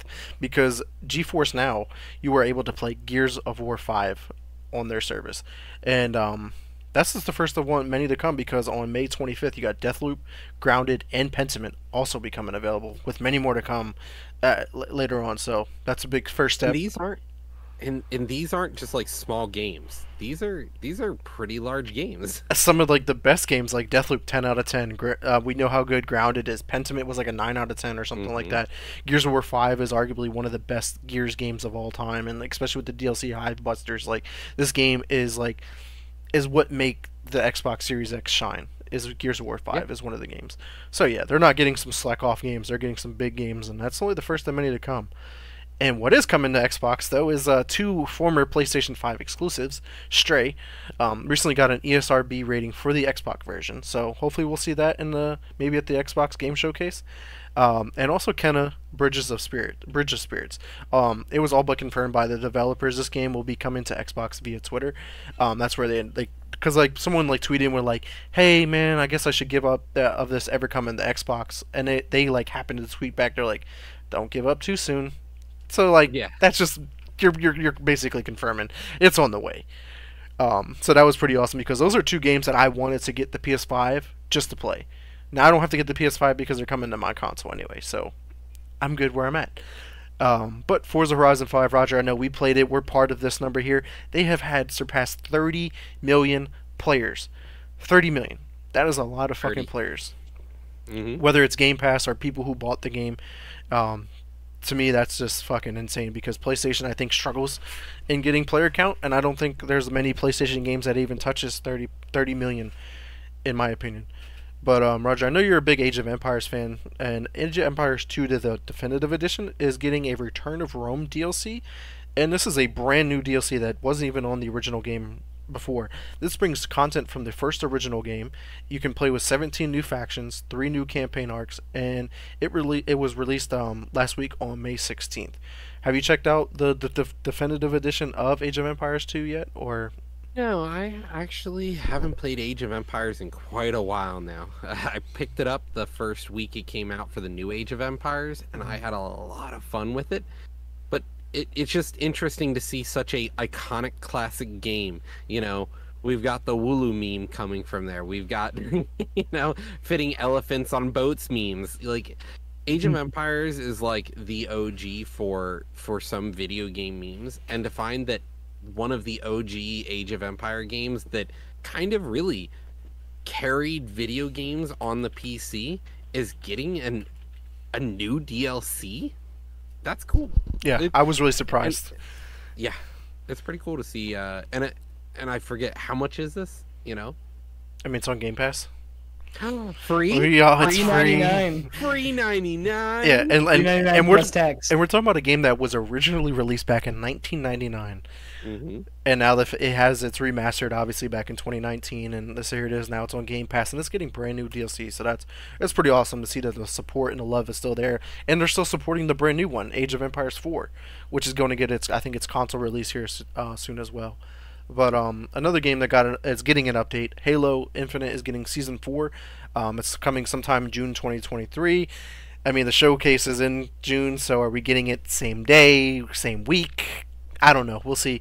But the big part here is the infection game mode is returning um, to the game, along with a new career progression system, and that's all of the news we see now. But I'm sure that they're holding on to the big juicy stuff for the showcase. That would be my guess. Campaign season two. Maybe are we finally getting the Yeah. expansion that everybody wants? Well, the, Maybe, not maybe, even an expansion at this point. It would just be what we were promised. It's not supposed to be an expansion. It's just the continuation. Right. So hope, hopefully we do get that for sure, or or we get the announcement of it's moving to the Unreal Engine Five and the Battle Royale and everything else that could possibly happen. Um, but some last, uh, we got two more thing, two more sections here for Xbox sales numbers. So the Series X and S has finally reached two million units sold in the UK. It has climbed into the top ten fastest selling list of all time, and surprisingly, it has sold faster than the Switch in the UK. It Mm. and they're they're comparing the numbers. How fast did it take to get to two million units? And the Xbox Series X, S and X has sold faster to get to that number than the Switch. So I'm just like, that's that's actually pretty big because we know how popular the Switch is and how many units the Switch How- has sold. And and I think the the important thing we need to look at this and say what was the Switch catalog for that first year? It wasn't big. So And neither is Xbox. We know Well, that there's nothing on. Xbox. Game Pass. Game Pass, yes. Ah, see, that's what we have to come back to is Game Pass is the reason why they're selling. And if and if PlayStation could take a, a moment and look at the playbook of Microsoft and go, "Oh, get a subscription model going That and works. actually fill it with content." Yeah.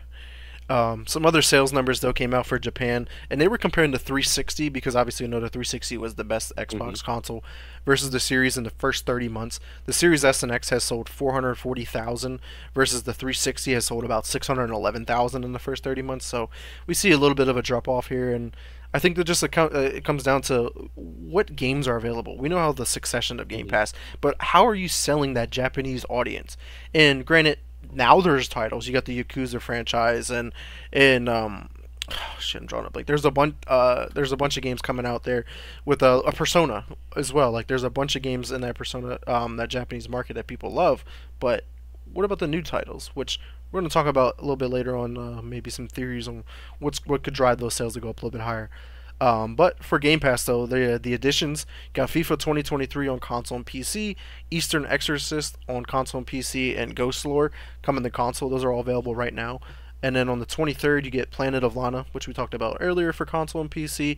Cassette Beast coming to console. Roger, I know you dove into this on the PC, so I'm excited to see this coming to my Xbox here on the 25th. Massive Chalice coming to cloud and console on the 25th. This is a game that was originally part of Games of Gold long time ago because I own this game via that service. So interesting to see that they added this to Game Pass. Um, then you got Railway Empire 2 coming to all plat um, all services on May 25th, and Chicory: A Colorful Tale coming to console and PC on May 30th. I know this game is pretty big because this was game was brought up a lot at the Game Awards. When we were when we were watching the Game Awards, this this this fucking game was in every category. It seemed like it was being nominated for so many different things. You're like, holy fuck! Like this game is it, it has to be good if it's being nominated for all these awards. So I'm excited for this to come to Game Pass, and I'm probably going to check this out.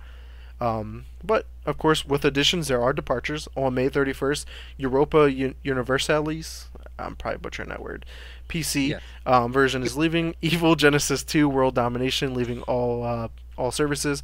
FIFA 21, no brainer. We're getting FIFA 23, so that's fine. Floppy Knights and Lawn Mowing Simulator. Sad. Bec- I mean, but I can't believe we're losing Lawn Mowing Simulator. R.I.P. to a real one. I know. I know. Yeah. Maybe they'll bring it back, or maybe we'll get Farming Simulator 2023. Hey Siri, hey Siri, play taps.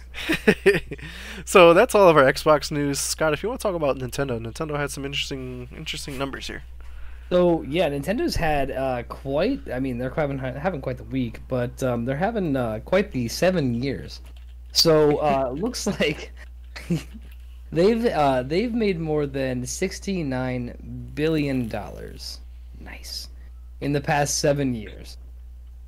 Uh, now, I mean, there's been a lot of things that have been. There's been a lot of things coming out in the past seven years. Breath of the Wild, now Tears of the Kingdom, but that's still uh, that's still a, a monumental number. Fire Uh, I- Emblem, you know, Fire, if Fire Emblem, you have uh, your Pokemon series, you have everything that Monster comes out. Hunter, Yeah, everything that's going to come out. That of course they're going to make sixty nine billion dollars. I actually hope that we could have rounded that number up to seventy, but you just decided not to, and you Yeah. did that for me. but uh, yeah, they. I mean, that's a that, that's an, a remarkable number. Seven years, like that's basically ten billion dollars a year. It's fucking insane. we're looking at on average. Um, so, but going away from that, uh, we got uh, a couple things going on with some of the games. We all know uh, some of the games we will be talking about. Well, one of the games we will be talking about. But uh, so Pac-Man '99, if anybody remembers that or even knew it existed, uh, that will be getting shutted, shutting down and, and delisting. Um, that's like a battle royale version of Pac-Man. It's going to start to have its features gradually shut down uh, in August uh, until the game is fully pulled from the eShop until in October. Um, thankfully for the dozens of people that play this game, uh, the paid DLC, uh, which is about three different offline modes and some custom themes, will still be playable after the game's delisted. So good on them, uh, taking care of at least the people that have paid for some of the DLC. Yeah. I think it's a very, very good This thing is for them to this do. is something that Nintendo has done well. We've seen it actually with the Wii U when they turned off the shop, and then we saw it on the Nintendo 3DS when they turned off the shop. When they turned off the shop on those consoles, they made sure to support things on them, like Nintendo or like Pokemon Home, for example, is still usable even though the shop is discontinued. Nintendo is make strides to make sure that they preserve the content for their people because they play them archivally. They play them back to like the Game Boy Color kind of games. Yeah, this is very much like your. This is this is your like case in point example number one of service mm-hmm. after sale. Yep.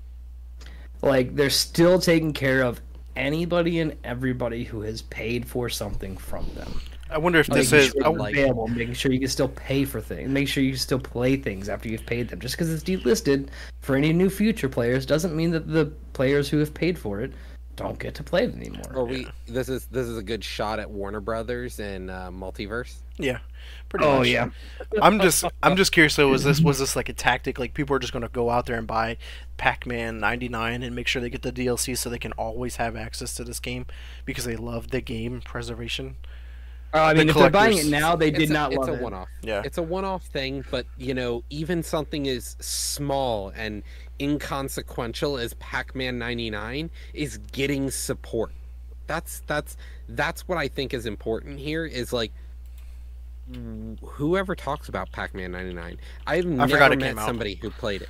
I, I I- have never met somebody. Yeah, no. The, oh, what games do you play? Warzone, this, oh, Pac-Man '99. When the mood hits, like nobody. But like, so Inhuman raises a very, very good point. Like, no game's ever delisted if you're on PC. Pretty Steam much. has delisted stuff though, but That's Steam. Yeah, that's Steam. so so um, most people get their games yeah. though. but Nintendo's Yeah. Nintendo's greatest game of all time. What's going on Mm, with it? Not yet. Not yet. So, It's- uh, it's we, getting there. Pokemon. You mean Pokemon Scarlet and Violet? Absolutely. Mm, Uh, they are finally getting. It is finally getting home support though. So they're getting home support. The release date was announced, but has been retracted since. That's really what we got coming out of Scarlet and Violet. Um, now, there's an elephant in the room. We're holding on for a minute. I promise. We got to keep you just right on the edge of your seat. Going to Nintendo services, so Nintendo Switch Online, which Vic has been loving, by the way. hell yeah. Uh, they announced the first three Super Mario Advance games will be added to Switch Online Plus uh, expansion pack catalog catalog uh, later this month, probably in like, what, the 26th. So we're looking at end of the week, Yeah. two week and a half. Um, so that's gonna be Super Mario Advance, Super Mario World, which is Super Mario Advance 2, and then Yoshi's Island, Super Mario Advance 3. I got some more Mario games to play after I beat Paper Mario. So But now to that elephant in the room that we've been talking about for Nintendo, right? This is monumental. We we've talked earlier in this episode about how we feel about Tears of the Kingdom, but let's look at the scoreboard. Sir, what does capitalism have to say about this? what does what does the free market economy have to say about Zelda Tears of the Kingdom? So this has broken uh, Nintendo records with 10 million sales in three days. It is the fastest selling Nintendo game for any system in Europe and the Americas. It's the fastest selling Nintendo game ever in the United States. Uh, it's the seventh biggest game launch in Japan of all time. Uh, it's already the second best selling Zelda game of all time. It's already at a third of the Breath of the Wild lifetime sales in three days. I know, shaking your head, absolutely ridiculous. It gets it gets better. There's more. Uh, four million units sold in America. Two point two four units, uh, million units sold in Japan. Right. Um, so we're looking at a 40 out of 40 score in the Japanese magazine, magazine uh, Famitsu, which only 28 games in in the 37 year history of this magazine have scored a 40. Uh, it scored a 10 from UK magazine, uh, Edge, and this is only t- like it's one of 24 games. It's the 25th game, I believe, uh, to receive that since the uh, since Edge had lost launched 30 years ago. Uh, so this has become only the sixth game in 30 years to receive the highest score in both Famitsu and Edge magazines. Scoreboard. That is all I can say. Yes. Yes, that's all. I can That say was- is I- I love that. scoreboard. That great. So, but something interesting uh, had actually come across. So, the gameplay trailer that really, really sold this uh, Mhm. for like a lot of the last minute buyers who weren't sure about like the new mechanics and things like that. That was a last minute decision. that was a very, very last minute decision. Yeah. Um, a very, very last minute decision. So, um, in an interview for the Washington Post, uh, the series producer Eiji Uh, Aonuma admitted that Nintendo had some concerns over the fans' enthusiasm following the game's second trailer in February. Um, so, what they did is they decided to show a 13-minute gameplay of him himself playing it. Uh, they wanted the fans to actually like kind of see what the new mechanics were and get the concepts of Tears of the Kingdom. And so they showcased the abilities. They showcased, you know, Recall, Fuse, Ultra Hand, Ascend, uh, to help a lot of fans like really understand. But it wasn't even so much as helping people understand. Then the secondary effect was letting people see how good this game actually was before they bought it. Uh, you guys remember when that last gameplay trailer dropped? We had talked about it. It looked phenomenal, and that was a very, very last minute decision. So I'm kind of, I feel like there's an alternate universe somewhere where the decision was not made to to show that, and Zelda flopped, and somehow Redfall wins. But man, I just this has been yeah exactly yeah. That is an alternate universe, bizarre. One of a billion right there, one, of, one of a billion right there. But what a time this game is having. hmm I'm already when there's people are already are already guaranteeing game of the year. They're already like I- It's, it's it's so rough. you're looking at it for sure. Yeah, It's, yeah. It's going to be tough to be- dethrone it. Yeah, It's it's something has to be phenomenal to get this out of. I don't know if it's better than Paw Patrol. We haven't Patrol. we haven't done a side by side of Tears of the Kingdom, Kingdom and and Paw Paw Patrol yet. Patrol. So you know what? We're gonna work on that, and we'll do a side by side, and we'll see what re- what people really think. Yeah. But man, it's all that's all I can say is scoreboard, scoreboard, scoreboard. Yeah, and, What- and, and that's what what, else is there? capitalism. Yeah, you vote with your dollar, and the world spoke. Yeah, it sure did. So, the world obviously we got Xbox, Nintendo. We can't forget about the third pillar of gaming. PlayStation had some uh, an announcement this week. Yeah. So after we heard the leak that they were having a uh, showcase coming up, but not win, they were finally like, "All right, everyone, this week." Yeah. okay, cool. So this week, PlayStation is having a shadow drop of a showcase. Pretty They're much. like, yeah, uh, in a week, we're gonna do a showcase. Oh, okay. The 24th at 4 p.m. EST, show, uh, we will get an hour-long glimpse into the upcoming year for PlayStation. What are we gonna get? What's gonna flop? Uh, just stick around for the leaks and rumors, and you might have some ideas. But um, Mhm. I'm planning on covering this. I'm not sure if you guys will be on, but I'll probably live stream the showcase. If you guys are up for, it, you can hop on with me as well. We can react and and kind of cover that as well. So I'm really excited for that showcase. But um, Call of Duty, PlayStation's other pillar, I think, right? Okay, never mind. Um, Activision Blizzard has Yeah. issued a uh, cease and desist letter um, to a uh, COD Call of Duty modder like mod group for the game known as SM2. SM2 is consists of like maps, guns, perks, content from older CODs or Call of Duties, like all grouped together into like this fan made mod that everyone's been loving. They've been working on this for like two plus years, and it's been running. First off, it was on the original Modern Warfare 2 engine, um, but they were in the process of switching it to the Modern Warfare remastered engine, and modders were going to make this game free to play. And I think this is when the order was given from Activision Blizzard because you no longer needed to buy Modern Warfare Remastered to play this if you could have just downloaded the mod separately and play it. And I think that that's what happened here. And I'm really sad to see that these modders and developers have been working on another Call of Duty that's been better than what we've been getting over the past couple years. We've seen it with Fortnite recently, and now we see it now with SM2. What what's coming out at the end of the year now too? By who? Yeah, Sledgehammer games, trash. Modern Warfare 3, maybe. Mm-hmm. And it's just like, can that game like I've been calling it for a long time. I think we need to drop the yearly release. I think we need to have the Call of Duty live service Oh, where we were supposed to. like no, we were supposed to get like a, a two year gap, and now we're not. That's what I mean. We were supposed to. But no, I get I a don't think we between. I don't even think we need that anymore. I need we need one Call of Duty. You update it with maps, guns, whatever you want to do. Add new story. Content. just Like like Master Chief Collection. That's it. Just one thing. Master Chief Collection. Literally, just every time you have a new story, put the tile there. Then all the content you can select what the fuck you want to play. There's already playlists on Call of Duty Modern Warfare.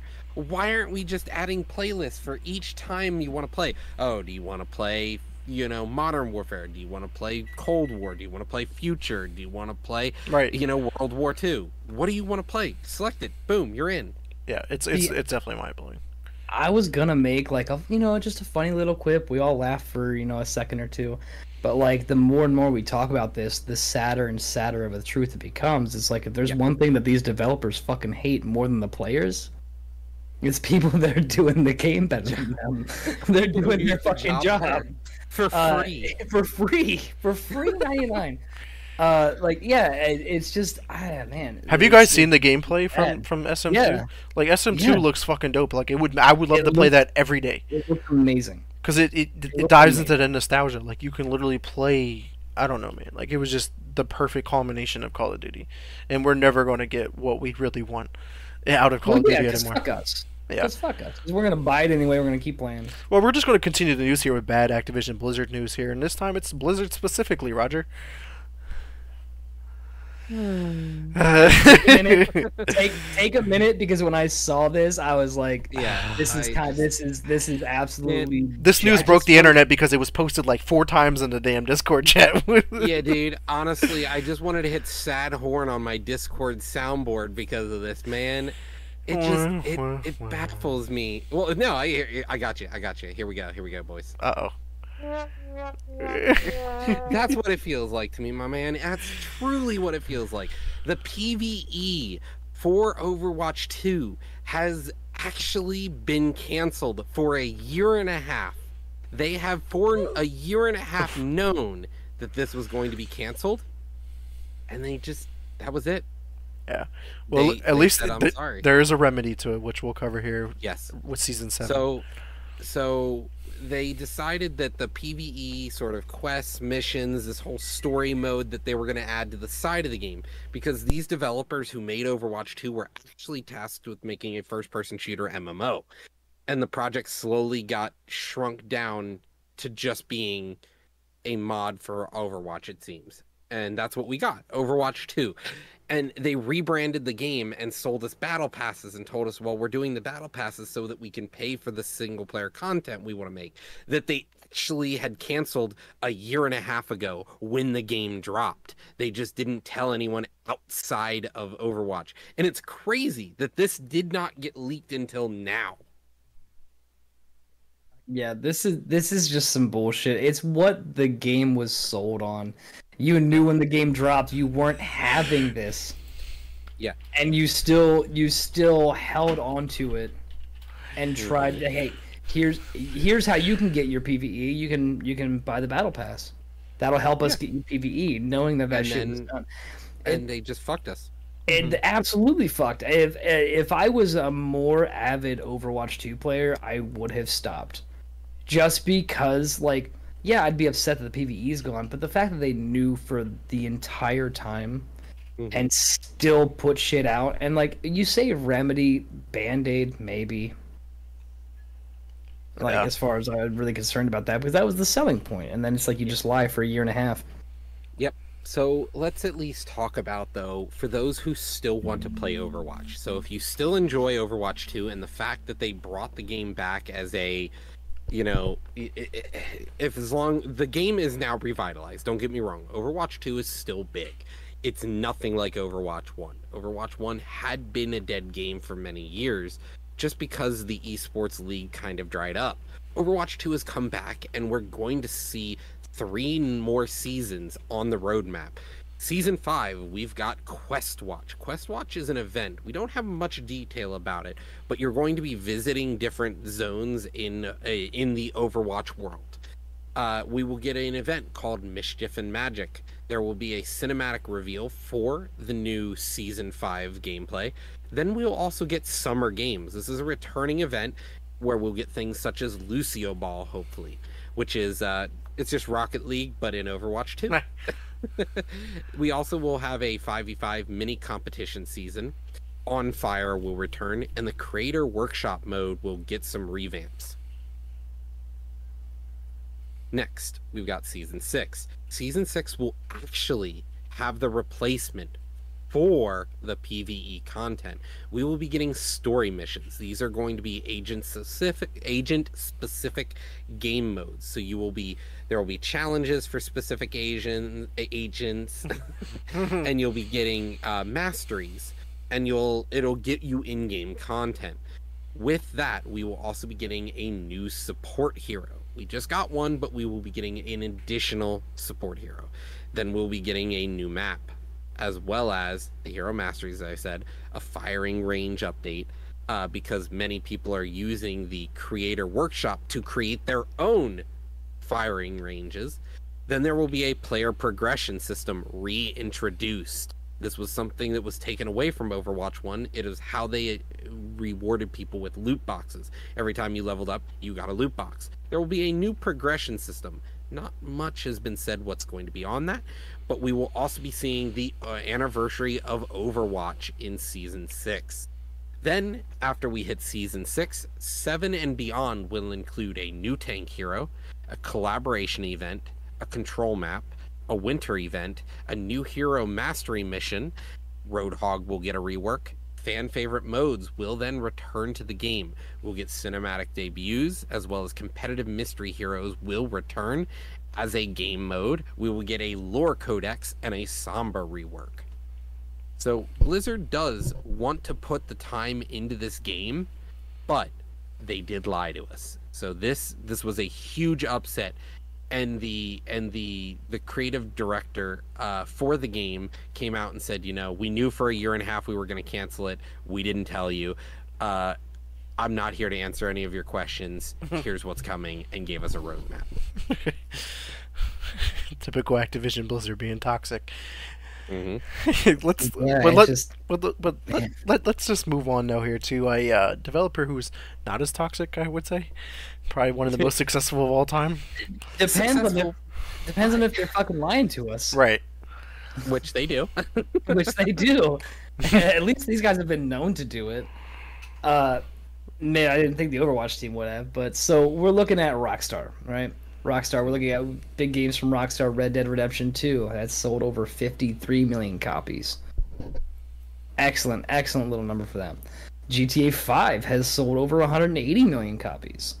Uh so i mean just gonna keep selling copies till 6 comes out.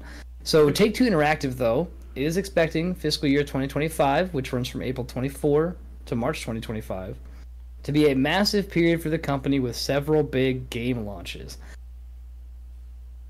We we're actually talking about this earlier today. Um, not the three of us, but a couple of us uh, at uh, at Trill. You know, uh, we were talking like I overheard the conversation. Hey, GTA 6 is coming out. What? How do you know?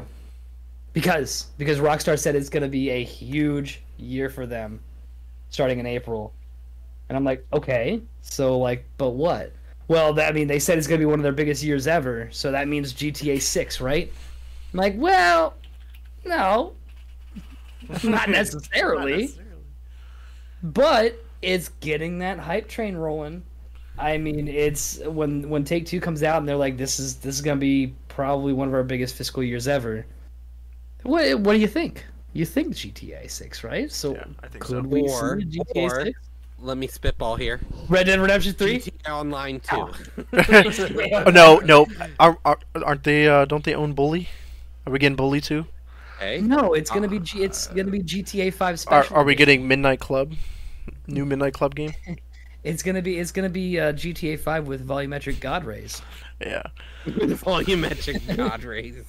Yeah. So Oh, yeah, uh, I, mean- I mean, this isn't in our leaks and rumors section, but like when when the the studio and company responsible for one of the biggest franchises out there says we're about to have a huge fiscal year, you start to wonder why, and it narrows it playing down the stocks really now, fast. boys. yeah. It's it real it narrows it down really really fast. Let me go invest right now. Let me go buy Yeah. a couple shares.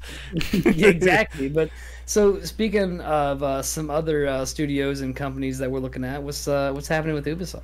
Yeah, man. So they're basically going all in with Assassin's Creed. They uh, have recently licensed a series of Assassin's Creed N- NFTs, which I'm not a huge fan of NFTs, but the fact that they took this the next step further, they're smart collectibles, which allows you, if you get these NFTs, you can order a physical version of your NFT, which to me sounds fucking dope. Like you can actually have the physical copy of it and instead of like having a, a digital copy of something that you think is I don't know. Like NFTs blow my mind and the whole thing. We can talk about those for This days. is, this is literally just called buying a piece of art. Yeah, pretty It much. comes with a certificate of authenticity. Yeah. that's that's what the NFT is, I guess. Yeah. Will this allow us to fast travel? yeah. but um, outside of the NFT news, they do plan to increase the number of developers working on the Assassin's Creed because they have six new entries in development already. There's a lot of fucking Assassin's Creeds, and these games are usually massive. I know we got Mirage right around the corner. I think we'll probably see that at the end of the year, maybe Octoberish is when we will probably see Mirage. So we'll only see. But outside of Ubisoft's Assassin's Creed game, X Defiant got a recently updated, and um, Inhuman here in our chat usually was supposed to be on the show today. Did drop a tweet um, into our Discord server, and basically this is from Mark Rubin, the uh, one of the main big guys working on X Defiant. And I'm just going to read this really quick. It says, "Hey everyone, I just want to give you a quick update on what's been going on since the beta. I know there have been a lot of questions regarding what we will be releasing, and or when is the next test." Um, there's no specific dates yet, but we have a lot of big things working on in the beta. We want to get our server st- um, stabilized. Um, they wanted to get the controller lag that they saw on the PS5 fixed, general polish and improvements, and it's a lot of work for a team that's only so big. Um, so where we are now, starting with the PS5 input lag, they identified and fixed the issue, brought to the controller latency down from 60 milliseconds to around 20, which is still honestly pretty bad. Like they got to get that to me lower, especially if you're going to be a competitive shooter and that's going to be in the Call of Duty range. You're not going to be able to compete if you can't get your your input uh, latency down. So that's going to be really important there. Um, they said so far this has made a huge difference in feels. Um, they think that the 120 hertz for the PS5 and Xbox Series X will actually be ready sooner than expected, which is fucking incredible because having 120 hertz on console for a shooter is going to be really really and they hope it'll be launch. Yeah, launch, and because they they they originally announced they're like, hey, it's not going to come with 120 hertz. We're working on it, but now they're like, hey, we actually might be able to get this out in time. So that's awesome that they're putting in that extra work there. Um, they said as for the net code, we made a huge progress and feels much better. Now something is that no matter how much uh, you test internally until it gets out to the real world, um, so they'll have to test that out later on. And then they said, uh, and lastly, server stability. There's two things here. One was the server configura- configuration, which they Ben knew about. They just basically they it was like a last minute bug when they recently did the um, the recent test, the public test, and they said by the end of the test we wrangle to the server and get them the more stable. But we have to fix the bugs that caused the issue in the first place and have hardened some of our servers to better stand up to issues like this. So there's going to be some more information to come, but that was just a quick update in regards to X Defiant, which I, I don't know if you guys have played it. I got to play it like a long time ago. I had to sign an NDA. Um, I'm allowed to talk about it now. The game was really fun, and it is could be a legitimate Call of Duty competitor if done correctly. And this is going to be a free to play game, so that could really, really drive up the the competition here with Call of Duty, especially being a seventy dollar game for multiplayer. that gets barely any content, or they label it as new content, but it's old stuff.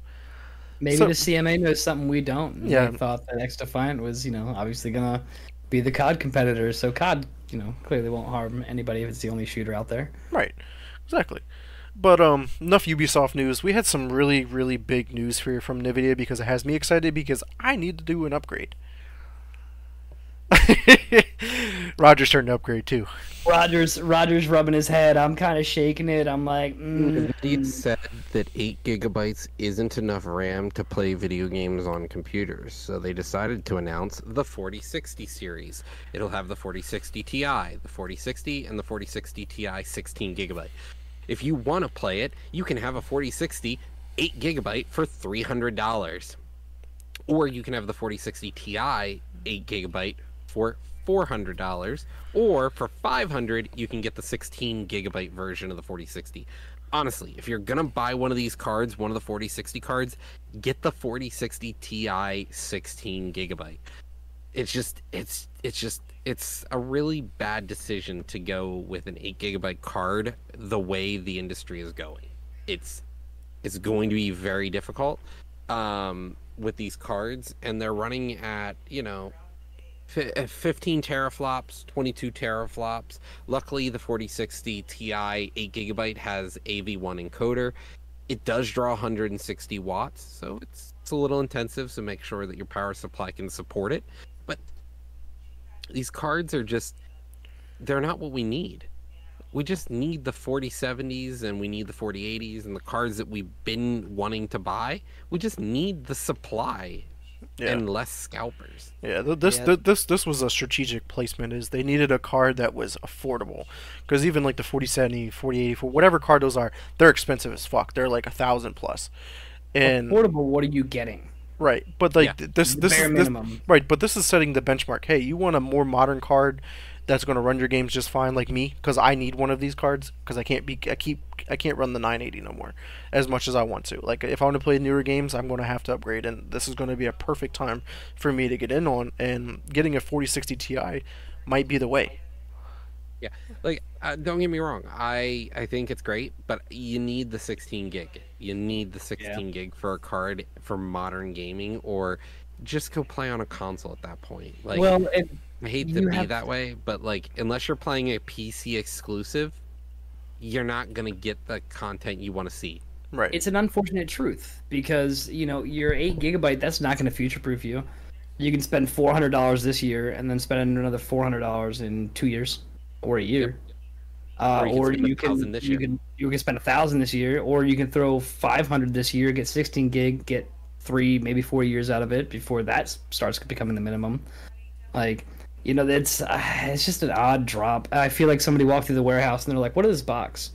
And they're like, "Oh shit, that was the 46." Okay, hold on, and then they just had to drop them real quick because it doesn't make doesn't make too much sense. Like affordability, like one thing, but a 399 Yeah. card, eight gigabytes, running 160 watts. Yeah, and I think that this also comes down to competition. Like they're um, the AMD just released a, a similar card, similar price, um, couple couple months ago, and they were like, we got to have a card that's competitive at this price because people are just going to buy the cheaper card because it makes more sense for their pockets. We got to have a, ca- a card in that same competitive pricing. That's yeah, what but they I think a lot of people are getting really smart about what they're actually buying when it comes to the video cards. The the last couple years have really proven like you have to look at what you're getting. So like cheaper, like yeah, I, I can put that in there now, but like like you said, am I gonna am I gonna be buying it again in a year or two?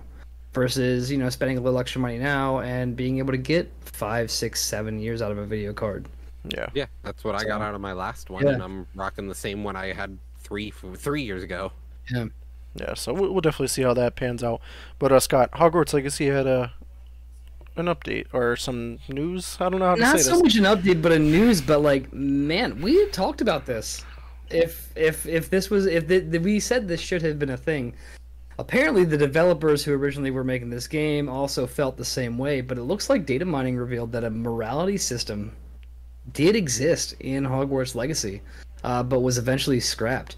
Uh, what that morality system did was, uh, for anybody who doesn't know how that is, you get good boy points or bad boy points, uh, and the unforgivable curses would have got you bad boy points. So, however powerful they are, however good they are, you know, they that would have got you some bad boy points. You your morality would have been a little bit more on the dark side. Uh, interesting enough, I mean, I, I I would have loved that because you know they are powerful. They're very very powerful curses. But if Or you're trying to be a good character, if you're trying to be a good character, guess what you weren't using? Unforgivable curses because they are unforgivable. Yeah, I'm surprised Uh, they did. and- I'm surprised they scrapped this here. Yeah, that, that, that, that piece of immersion uh, was definitely a little bit missing, um, but we do see that it did exist at one point. Yeah, because you can just go around and just murder anybody and everybody. Fuck it. it would have been sitting next to like, yo, right. my man's would have been calling Voldemort Tom, be like, yo, what up, Tom? What'd you get? What's up, pizza? buddy?" Good call. Good call. All time. like, So Like- yeah. So unfortunate news that that never came to fruition there. Maybe they'll learn from their mistakes on that. But uh, Fortnite, we kind of covered this uh, last week. I think it was when there was a leak saying, "Hey, there might be a ranked mode coming to Fortnite." Well, it's confirmed. Ranked mode has arrived for Battle Royale and the Zero build. But not only that, they did get a Spider-Man crossover. Hence, because the new movie is dropping like June second, I think it is the new Spider into the Spider Verse or across the Spider Verse or whatever the hell it is. Um, but come this, you get Spider-Man and Miles Morales have both arrived in uh, in Fortnite, so that's awesome to see there. But uh, Scott, you're a huge Lord of the Rings fan. Obviously, you're buying Gollum at fifty dollars day one. Are you going to play the new MMO that was just recently announced here?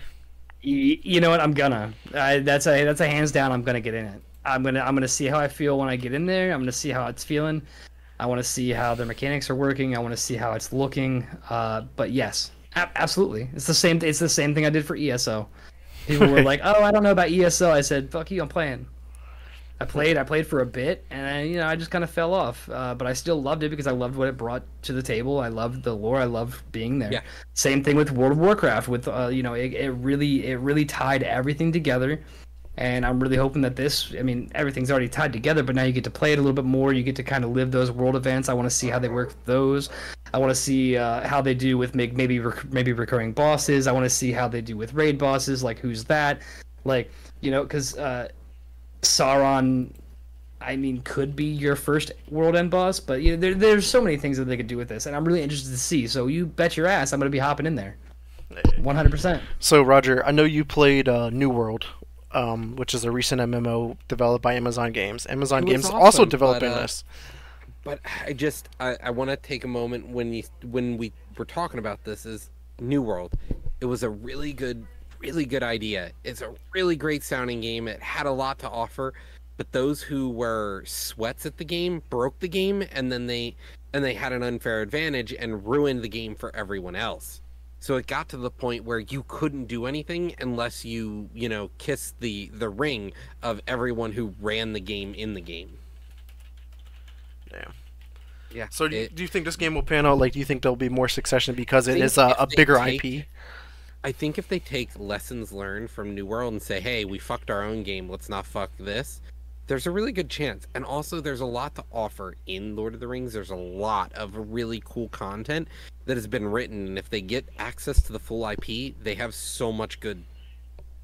Right. Yeah. Definitely agree. So, But- speaking of like good content, Power Wash Simulator, guys. I know you guys are super pumped for this. They're getting SpongeBob DLC, guys. They're getting six new maps, and it's coming this summer, 2023. Who? So who's downloading? And you're going to be cleaning SpongeBob's house and Patrick's house and Squidward's house and maybe the Krusty Krab. I I mean, hate to clean my own fucking house, so I ain't doing it in a video game. nah, It's yeah. like farming simulator. I don't want to make my own garden, so I don't want to fucking farm somebody else's. Right. But up, Grow crops in Minecraft. Don't don't get Yeah. me wrong. yeah, definitely agree. Um, but yeah, I heard Power Wash Simulator though has been really like um a game that is like um really relaxing. I heard. So only only time will tell. But this is blew up on the news. I mean, it was in all of the Discord channels I'm a part of. Like people were really talking about this. I was like, you know, got to talk about it a little bit. Goof off with SpongeBob DLC for the uh, Power Wash Sim. But um, so moving on here though, we got Dead by Daylight. Dead by Daylight had a two big announcements this week. First off was a random ass thing that came out of nowhere was uh Nicolas Cage is coming to the game as a survivor character. And but when it was first announced I was like, "Oh, cool. Maybe he'll play as his new Dracula character and he's like the guy like the the monster." Nope, he's playing as himself as a survivor in the game. And I was like, fuck it, okay. like I was really surprised to see that. Um, Hey, Nick Cage needs money, okay? He Yeah. isn't as successful as you think. yeah, so Well, he's got all that unbearable weight of massive talent. I don't know Yeah. what his Yeah. problem would be. Yeah. so, but the other news regarding Dead by Daylight, so anybody who- who's a huge fan of this is they got two new games in the works.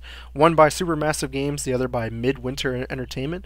First of which is being uh, is developing a new single-player interactive story game that will offer an intense narrative um, experience filled with powerful life or death choices set within the backdrop of Dead by Daylight. Uh, more information coming later on in 2023. So my guess is this This is this is exciting. yeah, this might this sounds like like um either As Dusk Falls or like The Quarry. Remember when The Quarry dropped earlier in the year? Like those decision based games and like they're really going to be life or death and like maybe they they dropped the, the What- Twitch integration too. What would be really interesting is if we get these sort of serial killer, you know, chasing you down vibes. Like Amnesia the Dark Descent kind of did that. You know, you had moments where there were things hunting you, so you had to get through whole floors as these things would go through rooms trying to find you. This is Dead by Daylight is really just known for the fact that you it's four people being chased by that one unstoppable power. I'm, I'm excited to see what they can do with single player content now when you don't have to rely on other people. Yeah, I, I could definitely see like or maybe some Resident Evil vibes because there's always that like that one killer that's chasing you like most of the game, and you're trying to invade and, and solve puzzles and, and survive and stuff like that. So I could see a game working out like that. But the other one though, by Midwinter Entertainment, is developing a new multiplayer versus player um, environment environmental game that will tackle themes of greed and lust for power, with teams of up to four players taking on a strange new corner of the entity's realm.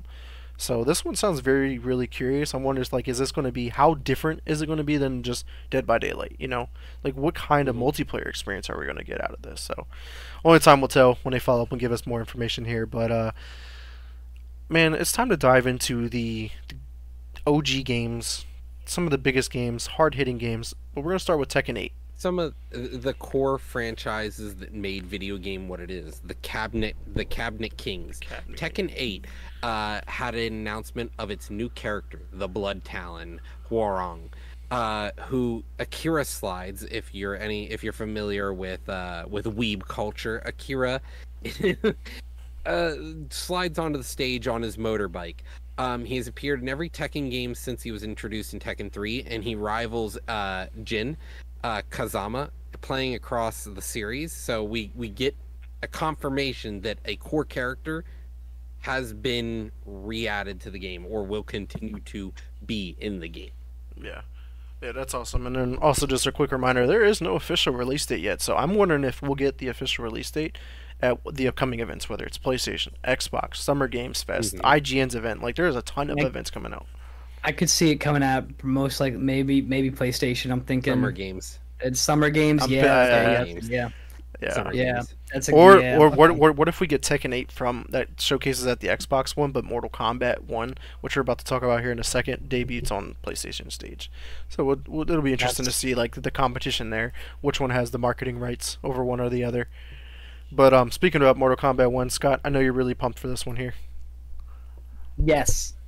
So, Mortal Kombat 1, the remake, going back from the pseudo beginning, I use that in quotes.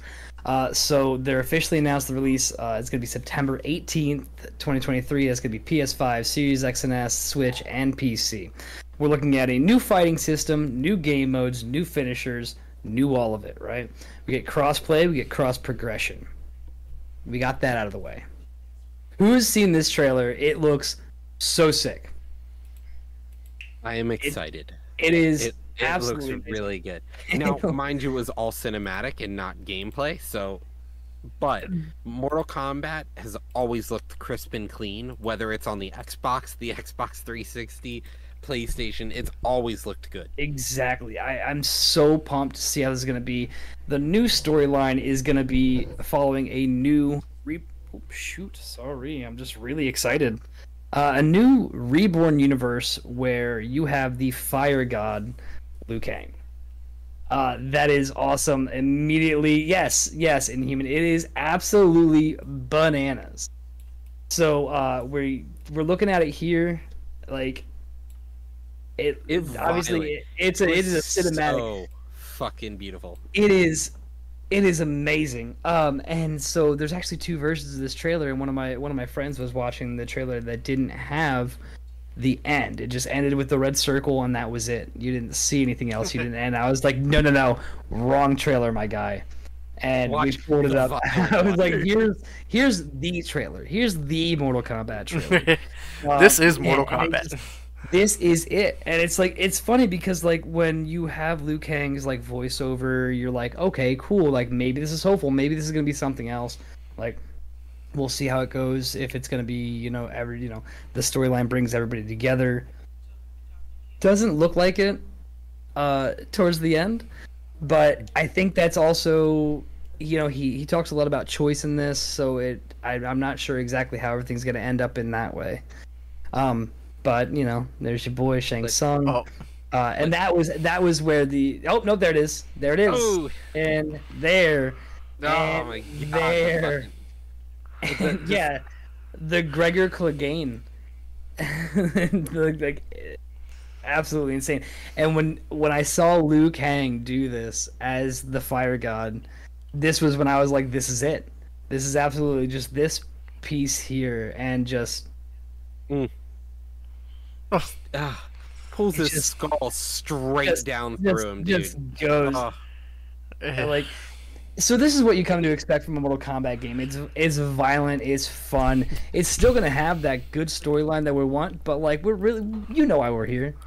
and they've already announced cool characters too. Yeah, they have. So, well, uh, announce.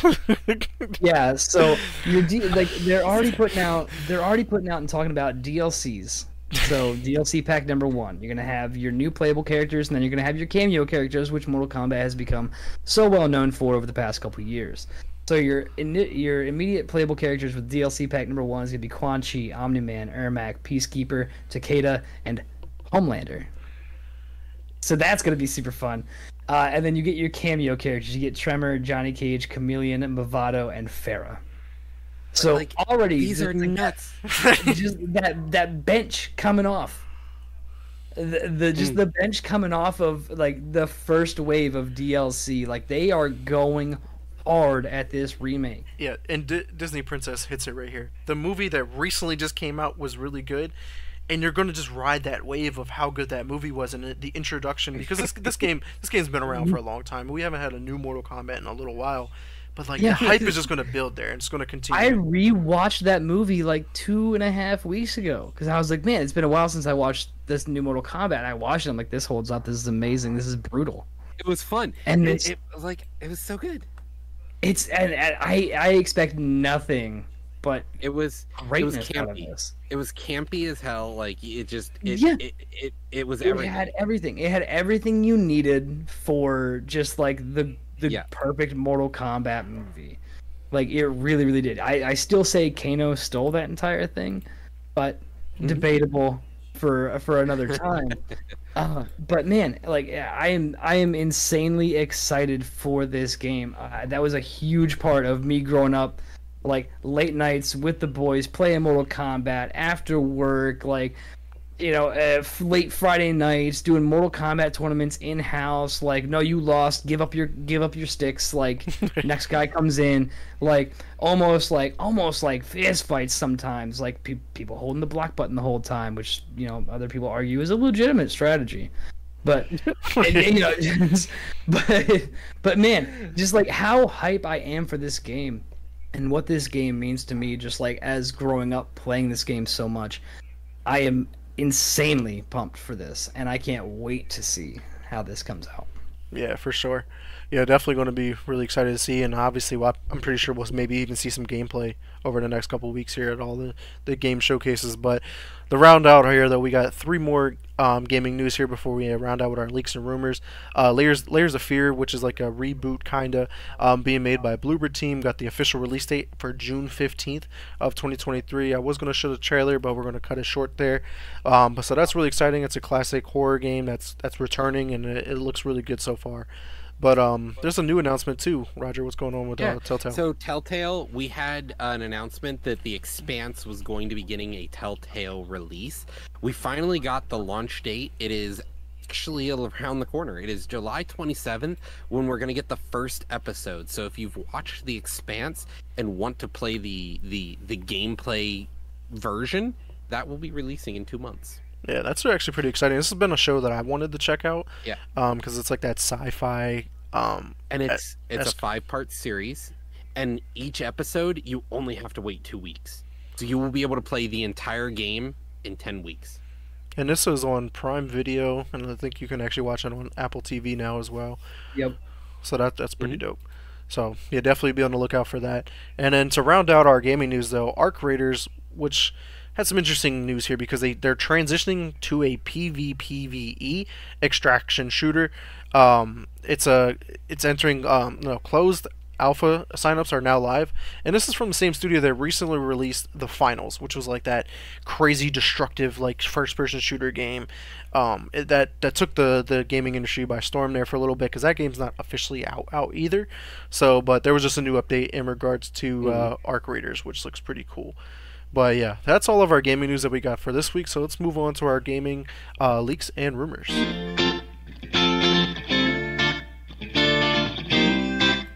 So obviously, I'm gonna kick it off here with our Xbox um, leaks and rumors.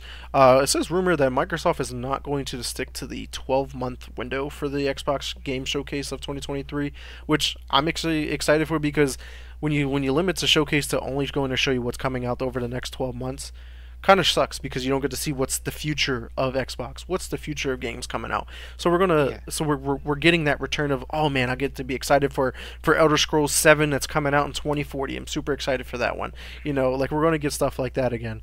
Um, but the interesting part here is some of the other leaks here is Persona 3 remake, which we've been covering for a long time now, is apparently going to be revealed here at the Xbox showcase, which is going to be huge because if they're trying to capture that Japanese market, if they say the Persona 3 remake is coming out, I don't know, this year, next year, whatever, and it's coming to Game Pass day one, you're going to drive a lot more people to come to your console, to, to or the subscription service.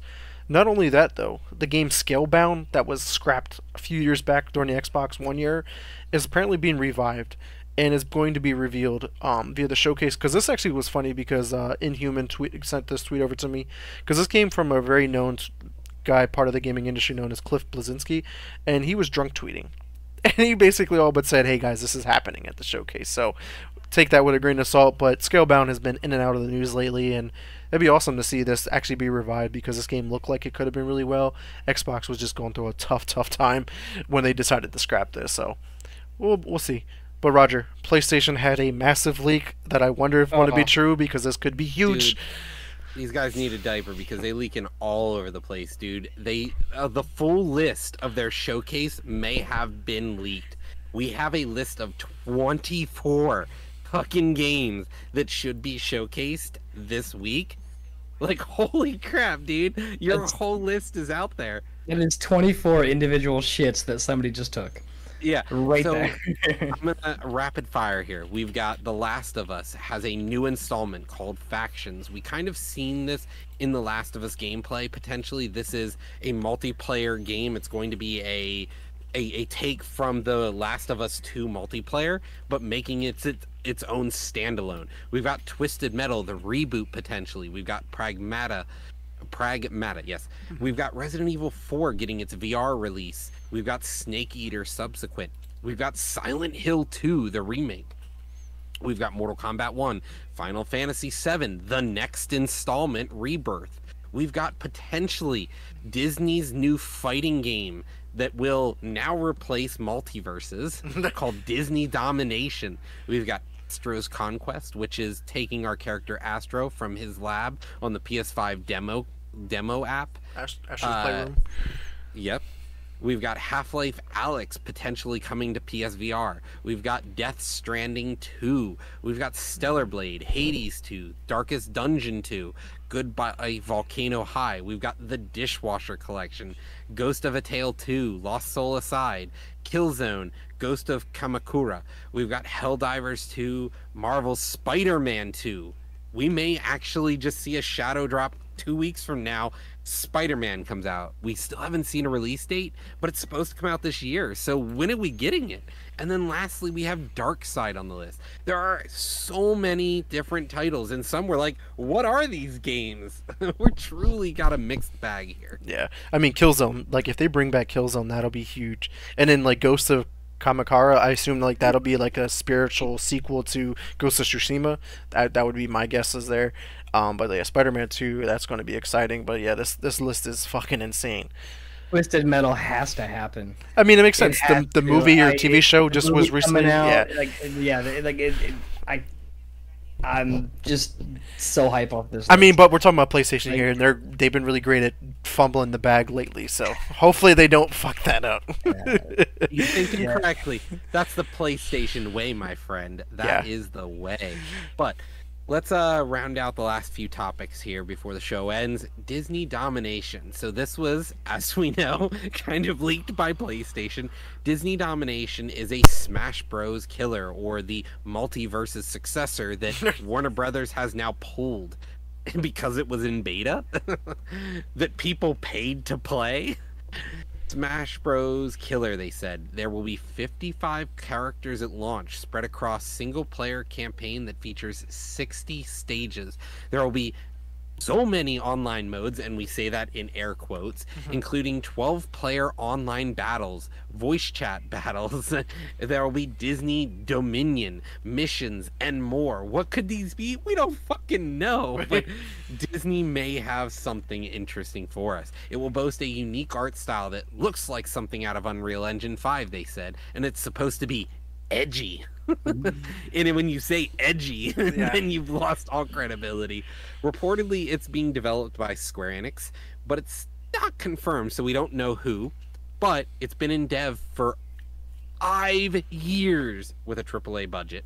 It is a 2D platformer single player campaign. There will be 70 in game items like Smash Bros. has, and there will also be voice chat for shit talking. Yeah, but you imagine the shit I'm talking. gonna be so toxic.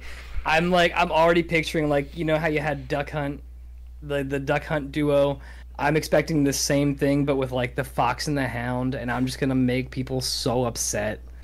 I'm just gonna hurt everybody. My man's gonna just get mad at Hercules running around that roid rage motherfucker.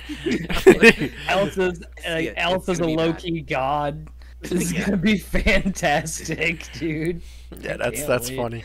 Yeah, so Oh. that that game actually sounds interesting to me. I mean, Disney has a lot of mean- IPs to pull from as well. So I'm saying if Elsa doesn't just like fucking freeze somebody and Mortal Kombat finish them, the game's not worth it. yeah, So Disney and Disney Star Wars said, and uh, Marvel, like there's so much. Disney Dude, I said didn't this. even uh, think about Star Wars. It sounds oddly adult.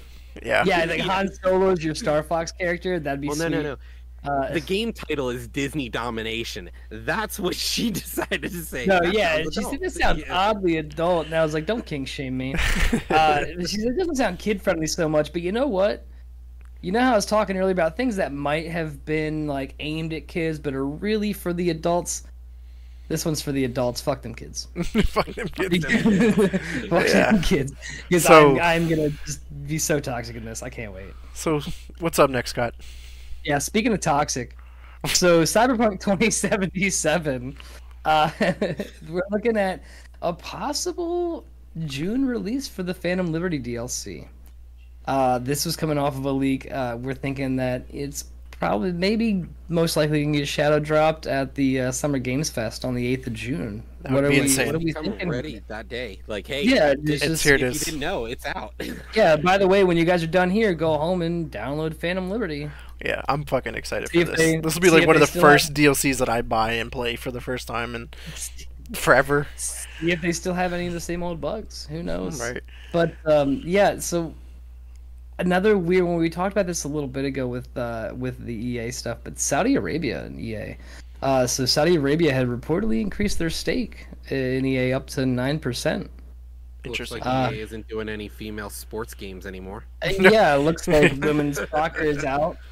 Uh, looks like any yeah, that's Yeah. kind of kind of weird. So we'll we'll see what happened there, but yeah, rip Yeah. in case.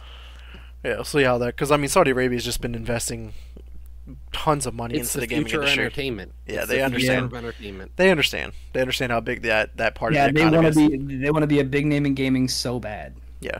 So we'll the see. thing Like, is, they like, really they're do. so repressed. They're such a backwards culture, and they're like, let's get involved in the precipice, the pinnacle of culture.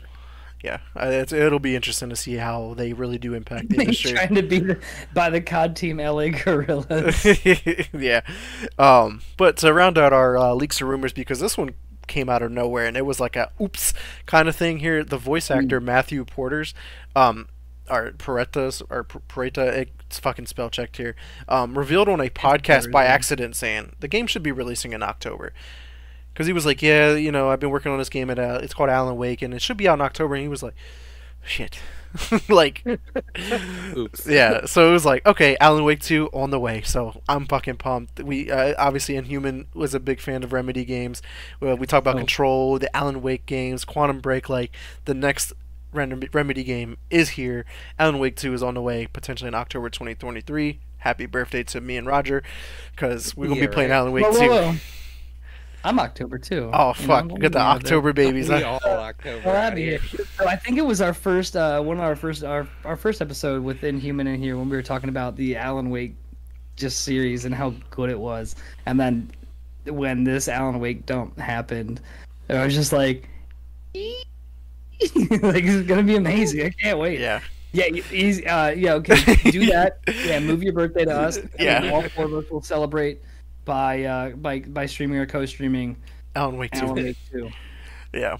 So that'll be awesome. Maybe we'll see a, an official announcement here with the upcoming game game events here. But hey, guys, that's all of our leaks, rumors, news, everything we got for you. So we want to thank everyone who did stick around for this really long episode. Who checked us out live on Twitch? Anyone does check us out later on YouTube, Spotify, and Apple Podcasts. I promise I will have it up on time this this this go around. Uh, I dropped the bag here. Just so much going on in my life.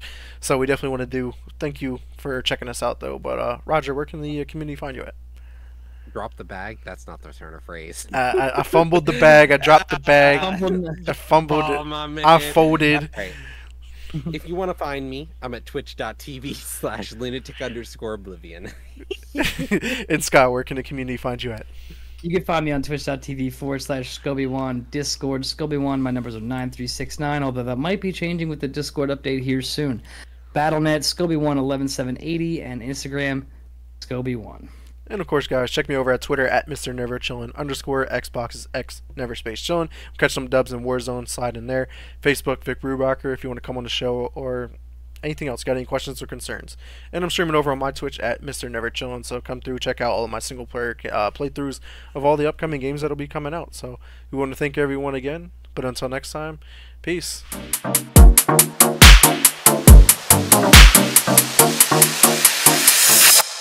Press Start Podcast.